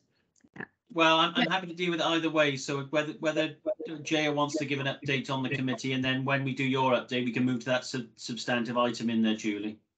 Great. So I'll, I'll just go through the, the October and November meetings for the ICB and ICS people committees uh, respectively. With the ICB people committee, um, there's a comprehensive plan in place and in action, but the greatest risks are, as ever, the available resources to, to deliver against the actions. Um, key to this is, of course, the appointment of um, our, our chief people officer. Interviews have taken place, um, uh, as, as Ellen has highlighted, so um, I won't talk more about that until we've got something to present on that. Issues being raised from our staff partnership forum are echoed through our system-wide discussion, so I'll cover those next because they're all pretty much in common. Um, okay, so November with the ICS People Committee, uh, we've had um, updates as we said we would put in, including well-being. Um, again, not surprisingly, the biggest issue is burnout, which of course leads to attrition. Um, there is a huge and rising need for our people to have access to this level of support. And as I understand it, funding is up in the air, and um, I know national conversations uh, were in progress uh, last month, um, but I haven't heard on what those updates are. So, Julie, I don't know if you know anything about what's happening to that funding on, on the health and uh, mental health and wellbeing hub. Sorry, it's um, still being considered nationally at the moment. I think you're referring to the funding that was made available last year to set them Yes. up. And there's a question about whether or not um, we're going to get further funding uh, in the 23-24 financial year. Um, and I, I don't, the- a decision hasn't been made on that yet. Okay, so that that will have an impact on on how we try and mitigate all of that as, as a system. We did have a lovely uh, report on the workforce dashboard, um, uh, although it, it's showing us why staff are leaving, um, and the stark reminder that when we open our Amazon orders this Christmas, the chances are they were packed by former nurses from BNSSG and various other places. So there are many things, many lessons to be learned. Um, we will also hope that the social care needs will be worked into these plans on the dashboard as we go. Julie did some great work with Corey um, Hartman um, on workforce planning and cost of attrition and calculating uh, some sort of guide value so that we could start to see how we could think about the losses in terms of investments required rather than just you know watching them fritter away. Um, so that there's a there was really good work that Julie could also talk about on on the financial cost of BNSSG for for example filling band five vacancies using agency staff. Um, and, and I'm hoping these figures will inform our, our headroom funding discussions and especially in light of what we've talked about with decision making. Cost of living report is a rolling agenda item um, uh, and the work being done on people program board will be critical to dealing with how, how we hang on to our staff and make sure that they, they can afford to work and deliver the best they can in terms of productivity. ICS People Programme report um, was presented to us. Um, uh, it's still embryonic, but we were told that we've got a one, three, and five year plan. Um, and now we'll be seeking to find some solid metrics that will help us lead to greater retention, uh, recruitment, skills development.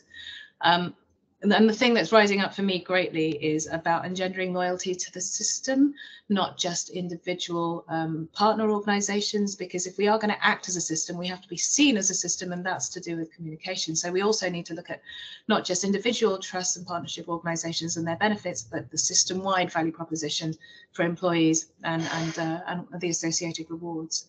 Um, and also we have committed to talking uh, to, finding out more about um, the resources hidden within our third sector partners and our communities. And I, um, and Julie was given a, a, an, an action point in order to to work what that one and um, work out what the detail is on that. So these are all work in progress, and so we're we're really hoping that we will be able to uncover more resource where where we where we need it most. Learning Academy was also updated and I've set up Trello boards to talk about horizon scanning items that we cannot necessarily look at during meetings because they're very tight. Um, so hopefully we can gather some thinking and uh, some problem solving ability between meetings um, based on um, the expertise within the room. Uh, and that's pretty much where we are with that. Okay, thanks, Jay. Jay, I don't know if it's your microphone or whether it's somebody else's, but we can hear a lot of typing and conversation in the background. So it, it might be yours, but it, if, if not, uh, can others check their microphones, please, just to ensure they're they're muted while we're talking. Th- thanks, Jay. Can I pass to Julie before I open up to questions? So, Julie, if you want to pick up the issue with terms of reference, and then any other issues from the the people committee before I uh, go to the board. Okay, so the first thing on the terms of reference is that um, obviously we we do review the terms of reference and there's been a um, couple of updates that um, we'd just like having um, signed off by the board, please. Um, it relates to attendance. So um, one update was to add the ICB Chief Financial Officer and, and Deputy Chief Executive to the ICS People Committee um, because we've spoken about funding, availability of funding to support workforce, um, and so the committee felt that uh, as a, a, a member alongside a number of other ICB executives, um, the CFO would, would um, be very welcome. Um, and also um, in relation to the ICB People Committee, so this is the one that's more internally focused. Um, we'd also um, added a second um, non-executive uh, member, um, and that's particularly so we could meet the quoracy rules um, uh, that are set for the committee. Um, so they were the um, two main um, uh, uh, amendments. Okay, thanks, Julie. Anything else you want to add from people committee or? No? Um, well, in terms of updates, I think it might just be worth um, reporting in around the ICS People Committee that um, it does receive the um, operational plan, the workforce uh, gap that's in the current year's operational plan. So we do monitor that via the committee. Um, and obviously the um, trajectory of the potential year end position was reported into the last meeting. So that is a regular standing item and will continue. Um, and also we did um, brief around the um, potential industrial uh, industrial action as well. Uh, and obviously the, the situation um, has slightly changed now since the committee because we do have some formal days for industrial action set.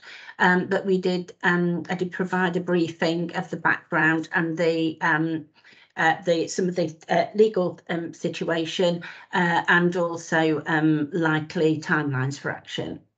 Okay, thanks, Julie. Um, can, can I move to questions? But the first one for me really for Jaya, which is um, just to, to comment on the contribution of non-exec directors from our partner organisations as part of the People Committee. How are you finding that? Is it valuable? Um, and then perhaps that's a question to the wider board as to whether whether that is feeding back into the organisation as well. So, uh, Jaya, and I suppose it's a question to all of the NEDs. Yeah, I, I am finding it very helpful, um, especially given that it keep, gives us a connection with with uh, our partner organisations and their perspectives uh, uh, really do enrich what we're trying to do. We, we, as a committee don't see as much as they do. It's really it's really important to have that perspective from my perspective. Okay, thanks, Jay. And I, and and I don't know if that's reflected across other committees, but um, I, I didn't ask Ellen, but we could pick it up in update. So, uh, Steve.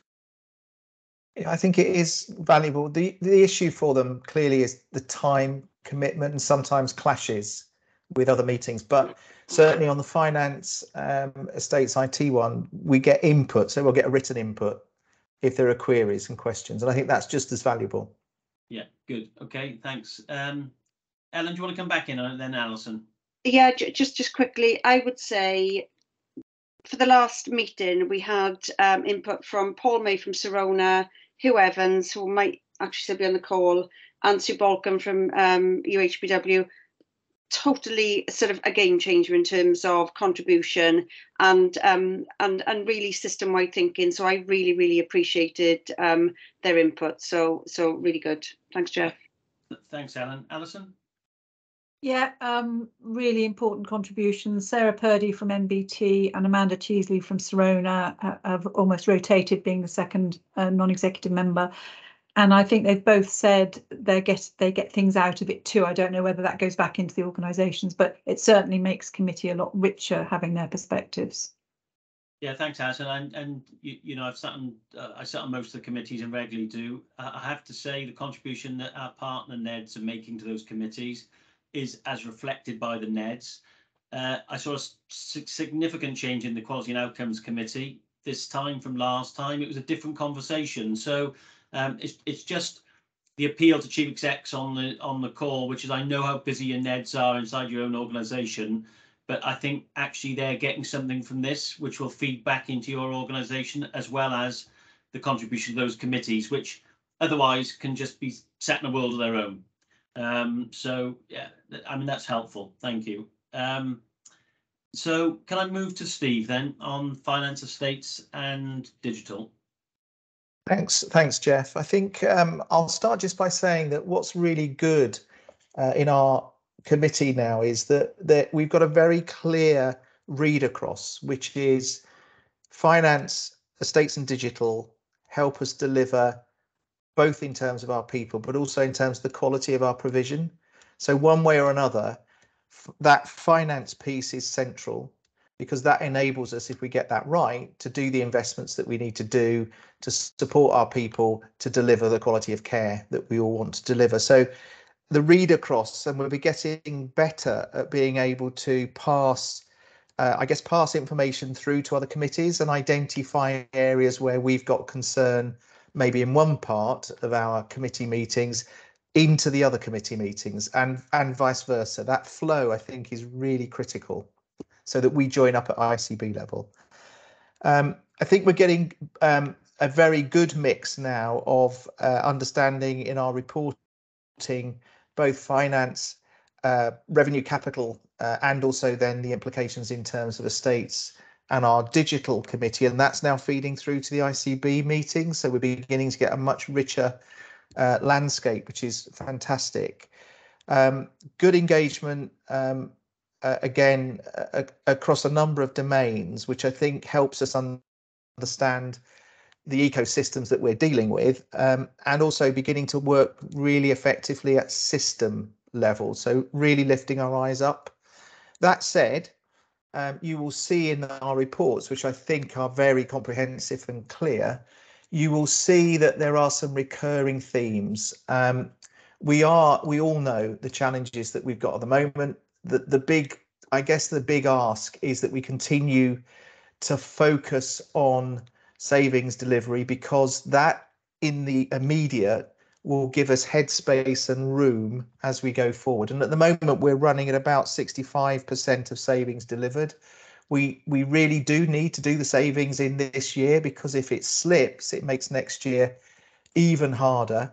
And we know that it's going to be hard anyway. So it looks challenging, but the system it needs to continue to support itself to deliver those savings because that gives us the space to do the investment uh, and to be innovative and creative we also, I think, in our reporting, um, have a real um, desire to want to see how we can do things differently, and that does impact on the other committee structures and the partnership working. So it's very clear that we've got a workforce issue in terms of being able to create a workforce fit fit for what we want to deliver going forward, productive, energized, all of those things. But we are at the moment um, suffering, I think, a little bit in terms of having to use huge sums of resource to back to, to be able to find agency staff to come in because we can't recruit. And that is that's gonna gonna keep holding us back, I think. So there is something about us doing a serious piece of work as we look at schemes coming forward, which might be really innovative capital streams of work understanding the workforce implications and challenging ourselves hard about what workforce can we create that is different what technologies can we use that will make us more efficient and effective um, and more productive in our environments. And if we can get our finances right it gives us the headroom to invest to save and do things differently going forward. So i know it sounds that we're saying this every time but it's so critical i think to what we're doing going forward um, there's some really innovative um, proposals that we're looking at at outline business case level, which we've considered earlier today. But the key is not the build itself. The key is how we operate it, how we get it to work, and how we get benefit through a different sort of approach to delivery. Uh, and the rest of the report I'm taking as read, Jeff. It's it's pretty clear, and I'm sure yeah. Sarah will be able to to add. Yeah, I mean, th thanks, Steve. I mean, there, there, there, does appear to be a maturity of the, the, the finance group uh, from a period of time. And I think the more we can replicate that across all of our committees, I think it'll be really helpful. But Sarah, is there anything else you want to add to that? The only the only thing I wanted to add is, you know, we're really pleased to have um, Nina Philippidis join us last time from uh, South Glos Council. It's really good having that perspective on the committee as well. So, um, yeah, thank you. Otherwise, Okay. Steve covered everything. Okay, thanks, Sarah. Can I ask if board members have got any questions or observations for um, either Steve or for Sarah? So Shane. Thanks, Jeff. It's actually pulling on the conversation we had earlier around the role of digital, particularly about tech in the community, etc. Is I suppose the, the question, the challenge, Steve, is how do we maximize at the committee, not just the focus on finance, and I don't mean finance just for finance sake, I because there's focus on finance for technology or finance for estates. But actually, if you think about the conversation we had earlier around the importance of tech in the community, the importance of innovation, and really quite exciting conversation had this morning, how does the Fed committee become the home for driving and that as well? Because actually if it's finance estate and digital then it's not just about the money side of digital it's actually the much wider exciting conversation around digital. And therefore you know i, I appreciate where we start from and, and rightly so. We've had a big focus on finance because actually finance doesn't work the whole thing doesn't work. So it's not a criticism it's a question now pushing forward. How do we really get the, the, the exciting journey of digital into the committee as opposed to the money for digital into the committee, if you know what I mean, Steve. So just it's a challenge. I wonder whether the committee's thought about in that way. I, I've thought about it and I've sort of got to the point where I'm not sure in committee is the answer. Okay. I think the committee should have an oversight. The committee should try to understand the direction that we need to go in and be able to articulate it. And that means working closely with uh, service you know, uh, and well, the whole system really to, to really understand.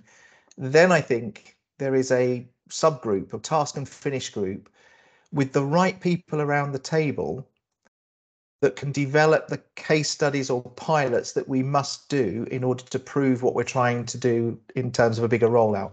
And I'm not sure that the committee itself can do that. It's a it's a sort of a, a task and finish group that brings in, you know, I'm going to say I would have around the table not just uh, you know the clinicians, some some but some industry sector that we might partner with, universities that we might work with, uh, and try and get some grip on this, which would then allow us to accelerate it, subject to getting the money right.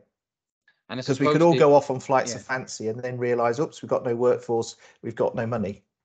And I suppose what would be interesting is the role of the committee is to check, to challenge, to support, to compel. So it needs to do that both in the finance side and in digital and in and in the state. And you're right, you can't do the business at the committee. The committee's job is to check, to challenge, to support, to compel, but to make sure it's happening down those three finance, state, and digital. Yeah. Just, ju- Steve, and I, I would agree with that, and I'd absolutely agree with what Shane has just said. Just reflecting back on my time in UHBW, a lot of my conversations there with the digital teams were, um, yes, but we haven't got the strategic direction, so we know what we want to do. We're already excited. We want to get on with these things. We're reporting up, but who is providing us that clarity about the, the space we need to occupy? So there needs to be something about how that comes to the board, how that comes to the exec group, how that comes to your committee to make sure that people know that they're supported and go in the direction that, that they're heading. So Deb, you might be able to answer that one for us. Well, I, th- I think it's we have the digital delivery board, which is the CIOs, which I chair across the system. So I think we don't need the task and finish group because I think that does that piece of work and brings all aspects of the system.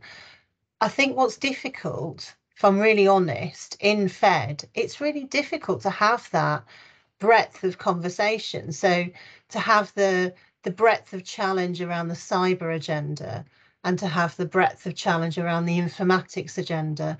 So so I I think we're still working through it, as Steve said, and we had a conversation about you know right now it's about the money side of things to try and make sure that we get that right.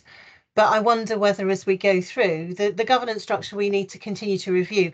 I think it's a really hard ask to shove those three things together that are by nature really quite different. So I think there's, you know, there's big overlaps, but and, and I would say that, wouldn't I? And you would expect me to, as the Chief Digital Information Officer of this board, um, that I think if we're really going to be clear about digital, I do think it needs a, an, a, another place to have those in-depth conversations and that level of oversight. But I think that's one for another day. So, well, Deb, I'm open to suggestions on that. It's just that uh, I know, again, in my time in UHBW, if you didn't put digital and estates uh, as a name into a committee, they didn't get talked about.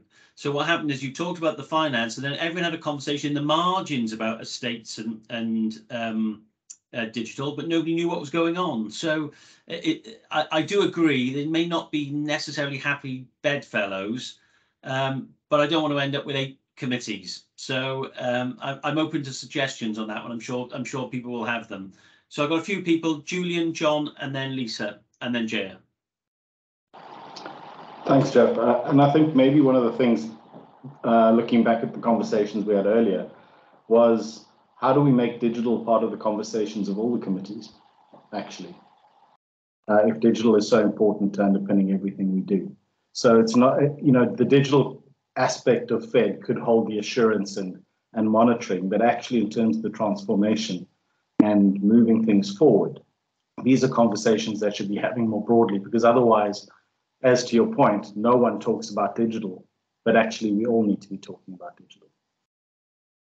Julian, I think that's a point really well made, but I suppose we could make that point for most of our committees. So things like workforce, that doesn't sit in isolation, cuts across all our committees. So um, we, you're right, we, we pigeonholing things in and putting them in boxes isn't great, but we need to make sure we've got a flow through on the governance. So yeah, we, we you know, we're only a couple of months in on this. I, I think we just got to keep thinking this through and, and evolving as time goes on. But yeah, good, good points. Um, John, Lisa, then Jaya.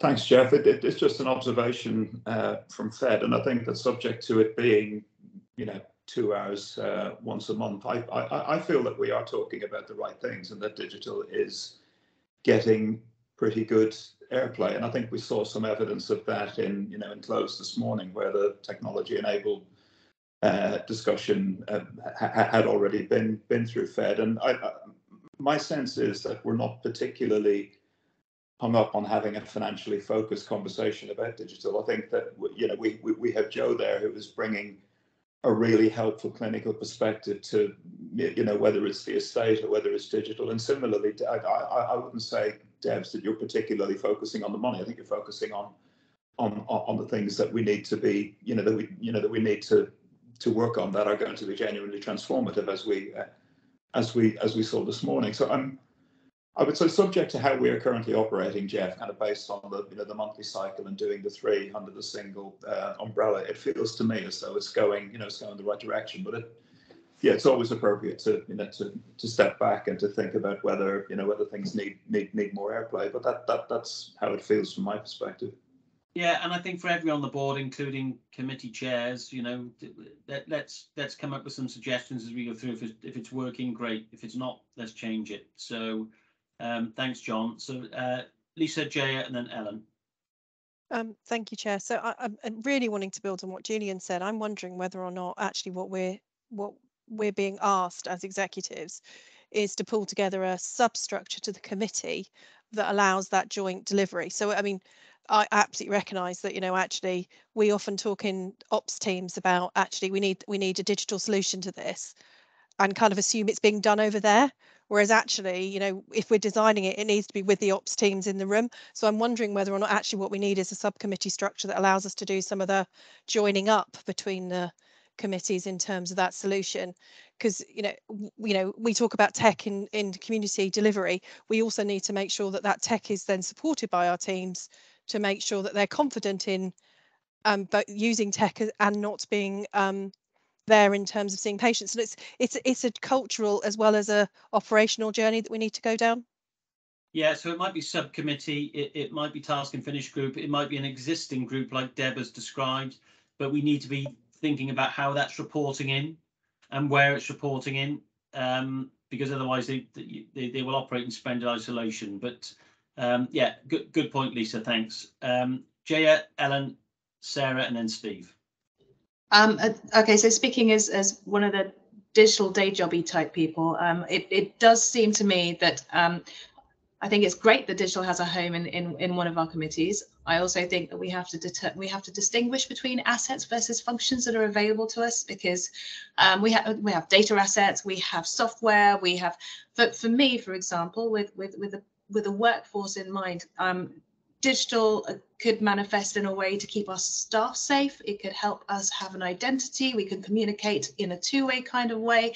Um, so it's means to an end. Um, it will be applied to many different things as any technology is. Um, and and for, for me, it's about visibility of what is available to us in our other boards, in our other committees that we can make use of to achieve our aims. It is all connected, um, uh, but um, they have homes, but I think it's it's also about what we make available. So you guys want my workforce, well, our workforce, um, and I want your tech, and I want whatever you've got to help me make sure that they're safe and able to be productive. So um, you know, quid pro quo, Clarice.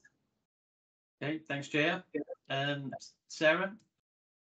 I just really wanted to pick up on the, some of the conversation and just to remind us of the paper we just signed off in terms of the decision-making framework, because I think absolutely those service improvement groups are the place where we should be considering all of those things. And the whole point of having a digital representative on each of those is so that those conversations can then be brought back into a, the digital delivery group. And then absolutely from an assurance point of view, that's then the route back into the Finance Estates and Digital Committee. And we do have routine reporting into the digital into the Fed committee from the finance uh, from the director of the finance meeting, from a state steering group, and from the digital delivery board. So really, that being the sort of cycle. Um, so not let's let. I just want to make sure that we've only just signed that off, and that's the direction of travel we're going in. So we do have that digital tied through all of those service improvement groups. Yeah, thanks, Sarah. Blame Steve West. Steve. I'll rescue it then, having blamed having blamed me. Um, I think one of the challenges is where this is new, isn't it? We're trying to do a load of stuff all at the same time. So uh, clarity at executive level, um, that how to use the committees is essential and how we get that feed in. And Sarah's absolutely right. We've got we've signed off a governance framework and a decision making framework, so we should really get behind that and make that work. The issue then is we at these committees need to be strategic in our thinking, connecting in the way in which we use our committees and bring to the main board decisions uh, to be taken and I think we can do that. I don't I don't have any doubt that that's possible. What we don't want to be what what the executive absolutely should be doing is making sure that across the system we've got really good intelligence and we really know where we're trying to get to and that that then is is um, looked at by the committees to make sure that we can keep abreast of it and make the right decisions because I guarantee there'll come a point very very soon where we're going to have to say do we invest in IT, digital, or do we invest somewhere else? Okay, thanks, Reality. Steve. Thanks, Steve. Shane? My point is very similar to Steve's, which is I think we just need to be very careful about the role of the committee versus the role of the organisation and the system to deliver. In the assurance framework and in our decision-making framework, the role of the committee is to put oversight and assurance of relative relevant functions. The committee isn't the committees are not management agents, they have no budget, and nor should they. Um, they are in fact oversight to check, to challenge, to support, to help us do our job, but they themselves are not management of the system. And I think it's really important that we just um, as much as I want to get excited by the role of the committees, and I, and I really do, the executive function through the committee is being held to account by the board and not all of the work of the system could ever be decided or enabled through committees. Committees' jobs are to provide oversight and assurance to check, to challenge, to compel us to do something different, but they are not the management function of the ICS. And we just need to be really, really careful. The management function of the ICS goes through the executives, through the partners, and through our improvement groups. And the committee's job is to check, to challenge, to hold us to account for doing that job well. But it is the committees are not themselves management of the system. They are the check, to challenge, to assure.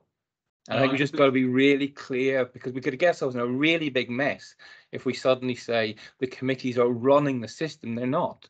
They are there to check, to challenge, to provide assurance.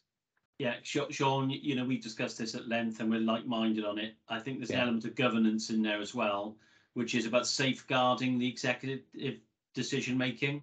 So, um, you know, it's it's uh, ha having been sat in your seats as chief executives, um, it, wasn't for me. It wasn't until I got to that top job that I realised the benefit of a board. In fact, when I was more junior in the organisation, I could never really understand what the board did, and it wasn't until um, I made some very difficult decisions, and I had that top cover as well, which which applied the what you've described, the accountability, the scrutiny, and the governance of decision making, which helps everyone do their job. So uh, and then protects public money as well and, and public service, which is what we all should be here to do. So Shane, I think we're all I think there's an agreement on that, and and it is early days, but I'm also conscious that I've got five non-exec directors who are really keen to make a difference.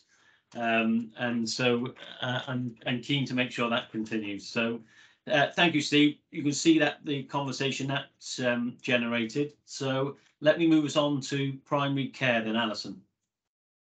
Thanks very much, Jeff. Um, and just picking up um, Shane's last point, I, I, I really I couldn't agree more with it. And at committee, primary care committee, we we ask regularly, are the connections and the dots being joined up before something comes to us for assurance? Are those connections being made? And I I think there's layers of that, and I, and I think that's really going to be important. Um, in terms of primary care committee, there's no doubt, I, I think that primary care it plays an integral part in some of the solutions that the system has got. Um, uh, uh, some of the some of the system challenges um, and uh, I'll pick up uh, one thing very briefly from the October minutes um, but focus really on a verbal update from November and there's a very small procedural uh, approval request for terms of reference which is not major at all. Um, uh, just in terms of uh, the October meeting, the only thing I would pull out is we we um, received assurance on the winter planning approach for primary care. So this is accessing winter funds, and obviously primary care has got a, an important role there in terms of um, serve, serving the population. Particularly looked at one of the the main uh, areas of support, which could be more same day appointments uh, in practice. And when I talk about primary care, currently it's around primary medical services that we have delegated commissioning authority for. Obviously, in April of next year, it extends to dental, optometry and pharmacy.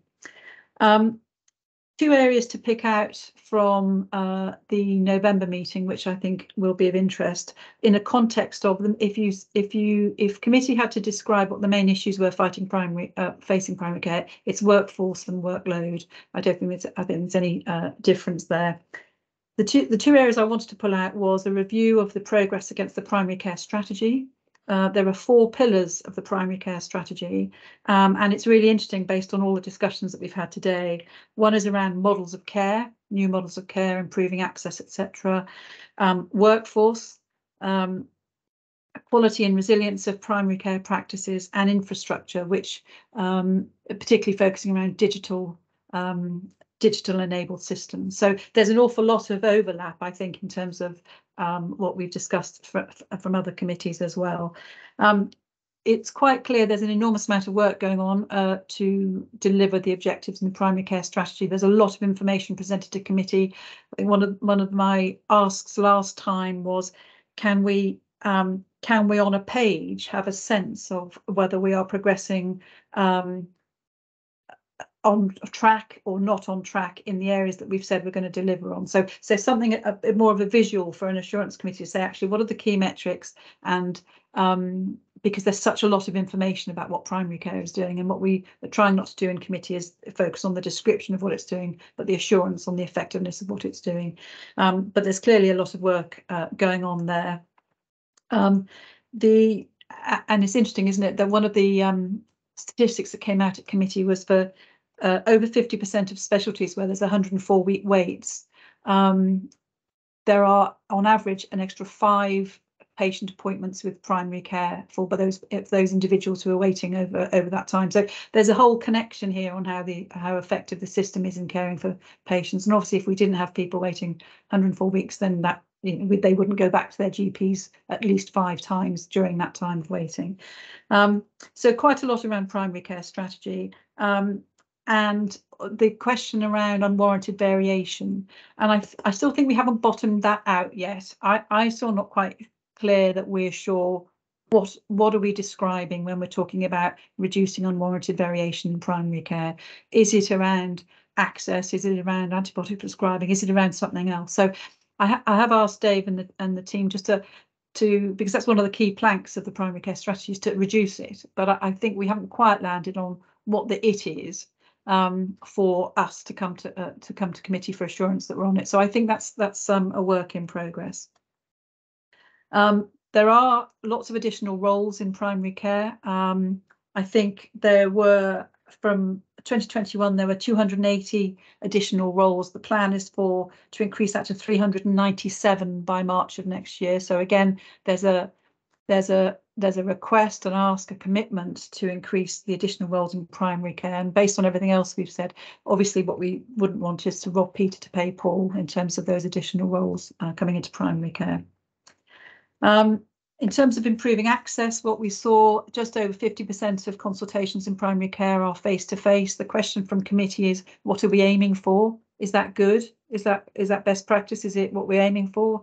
Um, certainly other systems have a lot higher face-to-face. Is that good? Is that not good? So I think there's still a bit of the so what question that just needs to be worked through about what we're aiming for when we have the raw data coming back from primary care which is a work in progress.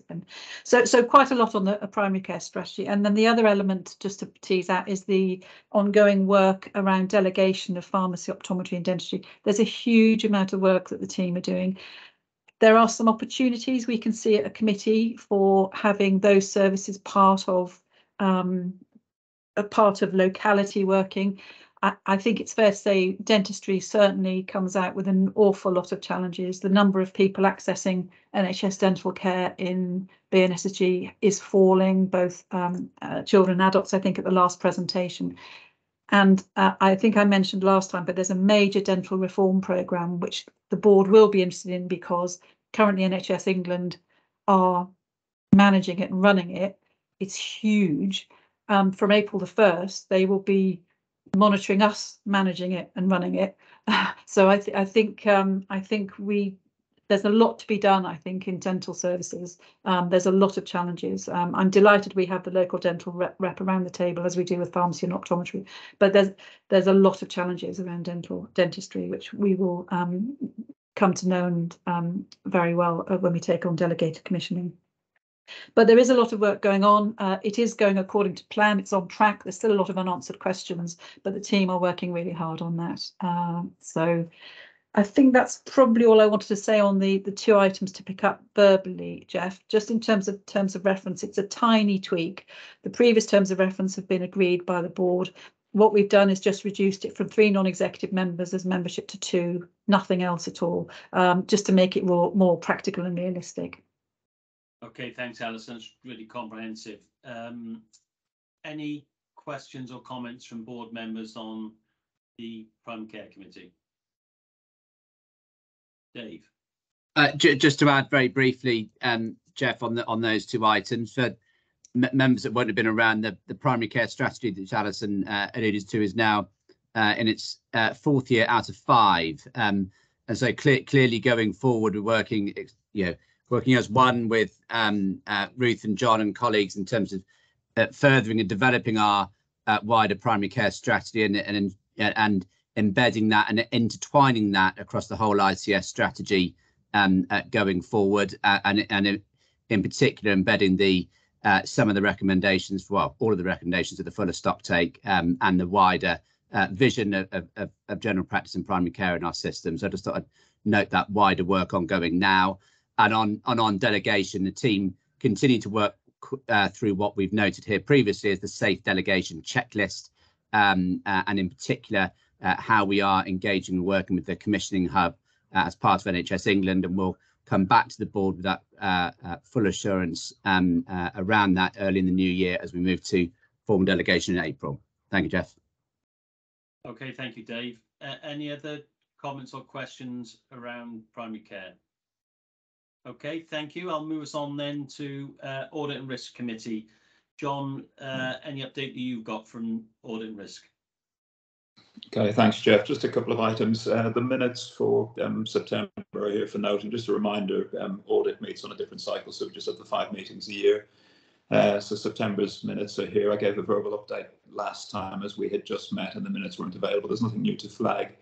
Um, like Alison, a couple of um, points um, here for approval. We've got um, slight revisions to the terms of reference, which really focus on uh, the membership and reflect the fact that all of the independent NEDs um, have, a, have, a, stake in the governance of um, the ICB and are, are, are, members of the, the committee, and also the fact that we are uh, developing our partnership approach, committed to working in that spirit. so hence the local authority and provider members reflected in the terms of reference. Uh, we also have the counter fraud policy, which is a crucial part of our internal control armory. It's been discussed and reviewed by Audit and Risk Committee and is now here for approval on the recommendation of the committee. And then just uh, a, a, couple of other items to, to, to flag. Um, all, all, ICBs have been asked to provide assurance centrally on the fitness to purpose uh, of arrangements around um, our registers of, of interest and management of, um, of conflict of interest. And a joint response will be going from Shane myself and myself as, um, as accounting officer and uh, an audit chair respectively. I'm confident that we have sound and robust processes in place, but it just seems timely to remind everybody just to to have a look at your declarations, and if there is anything that needs to be tweaked, please just make uh, Sarah Carr or her team aware, just to ensure that we are that we are up to date. But as I say, I think we have good sound uh, processes in place. And then finally, just to um, signpost to the seminar in January around assurance, uh, around the assurance framework. Uh, it's a really important piece of work around, um, you know, bolstering our, our, our governance arrangements, and will complement uh, the ongoing strategic work uh, that, that, that's happening at the moment. It'll be facilitated by our internal audit lead, and I'm confident that he'll make it really engaging and focus on kind of practical, pragmatic, uh, you know, workable applications. We have fed into the conversations that we've had with them, uh, the, the deliberations that we've been having at board level around how best to get to grips with performance and ensuring that we're focusing on the right thing and based on what he is seeing uh, in other ICBs, he, he, he's coming into, he'll be coming into the session, uh, hopefully to, to, to, help fully further clarify um, our thinking around that. So that was really it from, from me, Jeff, just the, um, the two items for approval and the rest really just to note. Thank you. Okay, th thank, thank you, John. And, and um, ju just to the wider board members, really, just that explanation about our, our committees really have a dual function. They have the function to look at those people employed by the ICB, which is the internal management. And you've heard that, so a lot of that will have come out in, in some of those committee updates, which you probably sat there thinking, what relevance has this got to me? And then there's the wider 50,000 people, which is the system that we have responsibility collectively for, for managing and leading. So they do have a dual function. It's the governance of the of the what is the ICB organisation, and and then the wider system um, governance around the way we approach things as a collective. So, um, uh, you know, I think within committees we're sort of trying to align those into uh, differently. I know in the people committee that's it's sort of two separate meetings really. Um, but it'd be interesting to get some feedback on that because I'm conscious otherwise we get lots of updates here at the board that people might think I'm not sure how relevant that is to me. Um, any questions to John before I move us into the integrated care partnership update? No, okay, so just a very brief update. Um, in the in the private board this morning, we had the first iterations of the um, integrated care partnership strategy. Uh, for those members of the public or others who aren't uh, board members, an explanation might be helpful. We've got an integrated care partnership, which has got 29 members. Uh, it's chaired by Mike Bell, who's the um, council member for uh, North Somerset. And the chair of that rotates, so Bristol will chair it next and then South Gloucestershire. They're responsible for uh, setting the strategy for the Integrated Care Board, which is this meeting, to deliver. This board has other responsibilities as well, which are set nationally by the NHS uh, and emerge from our locality partnerships. Um, but we have a really important stake in that strategy because we are responsible for the delivery of it. Um, our integrated care partnership isn't a statutory board. It is a uh, a co committee that's there to advise us and support us. Um, but we know that our, our first iteration of that strategy will um, take place in December in this month. You know, it's a couple of weeks' time. Um, what we are working towards is a more strategic framework so we can build in the way we approach uh, health and social care. And then that is we can build on that further as we do more and more consultation with uh, the public and with our patients. So we're a good place with that committee. There is no other um, integrated care partnerships who are leading it in the way that we are that I've seen. I think it's a very inclusive uh, approach and it does bring together uh, health and social care in a way that I think perhaps other integrated care systems aren't doing. So, you know, I think the, the signs are good for it. Um, Colin, I don't know whether there's anything else you wanted to add around the strategy. Um, I'm obviously mindful that many of the board members will have heard uh, an update at the private board, but just for the wider membership. Uh, thanks, Chair. I mean, I think you've given a very comprehensive summary of where we are, so I've got very little to, to add to that. Um, just to say, of course, that the the strategy work that we do in the system will be iterative. It's not the case that we will sign something off that will be set in stone. Of course, we will need to uh, refresh and review it as we uh, go forward. But uh, I think all partners are showing real commitment to the idea of working together in the new integrated way and, and, a, and a strategic uh, approach really lends itself to that. So very excited to be uh, involved in the work we will have to think carefully about prioritization and the art of the possible. We, are all aware of the, uh, the, the pressures and the limitations uh, within our health and care system at the moment. But I think working together, we can clearly uh, develop more than the whole. You know, the the whole will be greater than sum of the parts. So uh, I will regularly uh, endeavour to keep the um, board updated of the strategy work as it develops. And the 16th of December will be a public meeting, so that'll be our first outing on the the framework, as you as you uh, rightly described it in the uh, in the introduction. Uh, thank you, Colin. Um, any questions around the integrated care partnership update? No. Okay. Thank you. Um, I'm conscious of the time. Um, I haven't had any um, particular questions tabled from members of the public. Um, I, I, so we're only going to have five five minutes. Brian, I can see you've got your your hand up. Uh, I will bring you in a second. Um, please, if you've got any questions for us at all, if you submit them to, to me at the Integrated Care Board, we will ensure that we we answer your questions in writing, obviously, because I want to make sure that everybody is a fair um, shout it today. Um, so I'll bring Sarah in just to explain that in a second, and then I'll move to any other business. So Sarah, do you just want to um, update on that? Hello, yes, uh, so if people send in their questions, there is a link on our board page. Just, just to, to highlight, we did receive something from a member of the public, but it was more of a, a statement about how we are engaging with the local um, uh, voluntary sector organisation, and we will be going back to that questioner explaining um, we, we, that we've had that question come in from other routes, and we'll be going back to that person explaining that that we are uh, exploring our, um, what we can do with that local um, voluntary sector organisation. Sorry. That, was a bit complicated, but okay. Okay, thanks, Sarah. And we will, you know, we will. It, it, it, it's not to to close those down. We will we will give a full written response, which we've committed to. Um, but Brian, I can see you've got your hand up. I, we've got five minutes. If we'll do it justice, I'll try and answer it, or we'll try and answer your, your question now. If not, we will give you a response outside of the meeting. But I don't know whether you want to just raise the question that you've yeah. got. Can you hear me? Yes, we can hear you. Yeah. Because I'm not sure the system's working. Yeah, I've taken an interest in green issues over the time, and in particular now the green issues raised considerably in this organisation, and you've got a green plan.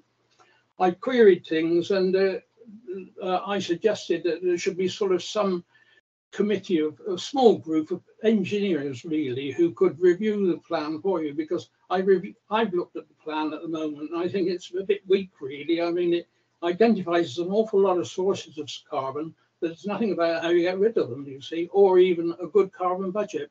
And I'm just going to repeat my sort of offer to try and get the idea of some sort of review panel who could respond to the people on the in the clinical commission, not clinical commission group, in the business as it is these days, uh, to talk to, you know, so they could uh, sort of review the thing and, and, try and improve it because, I mean, it's going to become a hell of a problem. I, I was somebody on the radio the other day said that if the temperature gets to 40 degrees C and the relative humidity is nearly 100%, human beings cook you know, 40 degrees centigrade is not that far away for us now.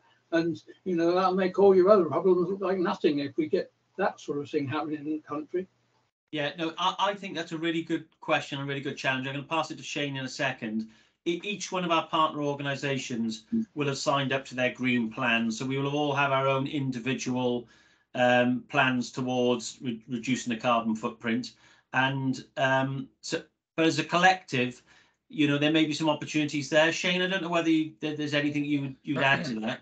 Well, there was just before the CCG became the ICB, I think it was, we signed off on the um, on the overall renewable plan. So uh, absolutely, I mean, I think it would be helpful to see whether we could have that plan reviewed and see what learning there is. So Sarah, I think was was it through your world, Sarah? No, through Healthier Together, wasn't it? It was It is, and and um, we've now got um, somebody in a system-wide role working out of NBT um, who's who's taking the lead on that green plan. Um, so, Brian, if you're happy, I'll put you in touch with um, with Sam Willits, who's who's We- taken on we- that we- role. you- you- We've said that before and it's not happened, you see. Uh, I think. Sorry, Brian. I'm. I Well, think I, I we're- know, uh, can I just, I, I'm not really arguing about it. What I would like to do is to get a group of engineers together if we could. I mean, I don't know if I'll be able to do this even, you know, so that you, they can be the people who review it for you. Because engineers have caused the problem and they're only people who are going to cure it, you see. So, so, so Brian, I think you make a really good point. It's a really good challenge. I think Sarah's offer of, of our uh, system lead, if if he can make contact with you, we might be able to facilitate some of the things you're suggesting. And I'm great, really grateful for your for your contribution on it. Yeah, thanks. Okay, great, thank you. Um, so can I, if we've got any other questions, I said, please um, write them in, send them to me or to Sarah Carr, and we will make sure that we respond um, outside of the meeting. But can I move to any other business for board members, please? Is there anything anyone would like to raise that they haven't had a chance to so far during the meeting?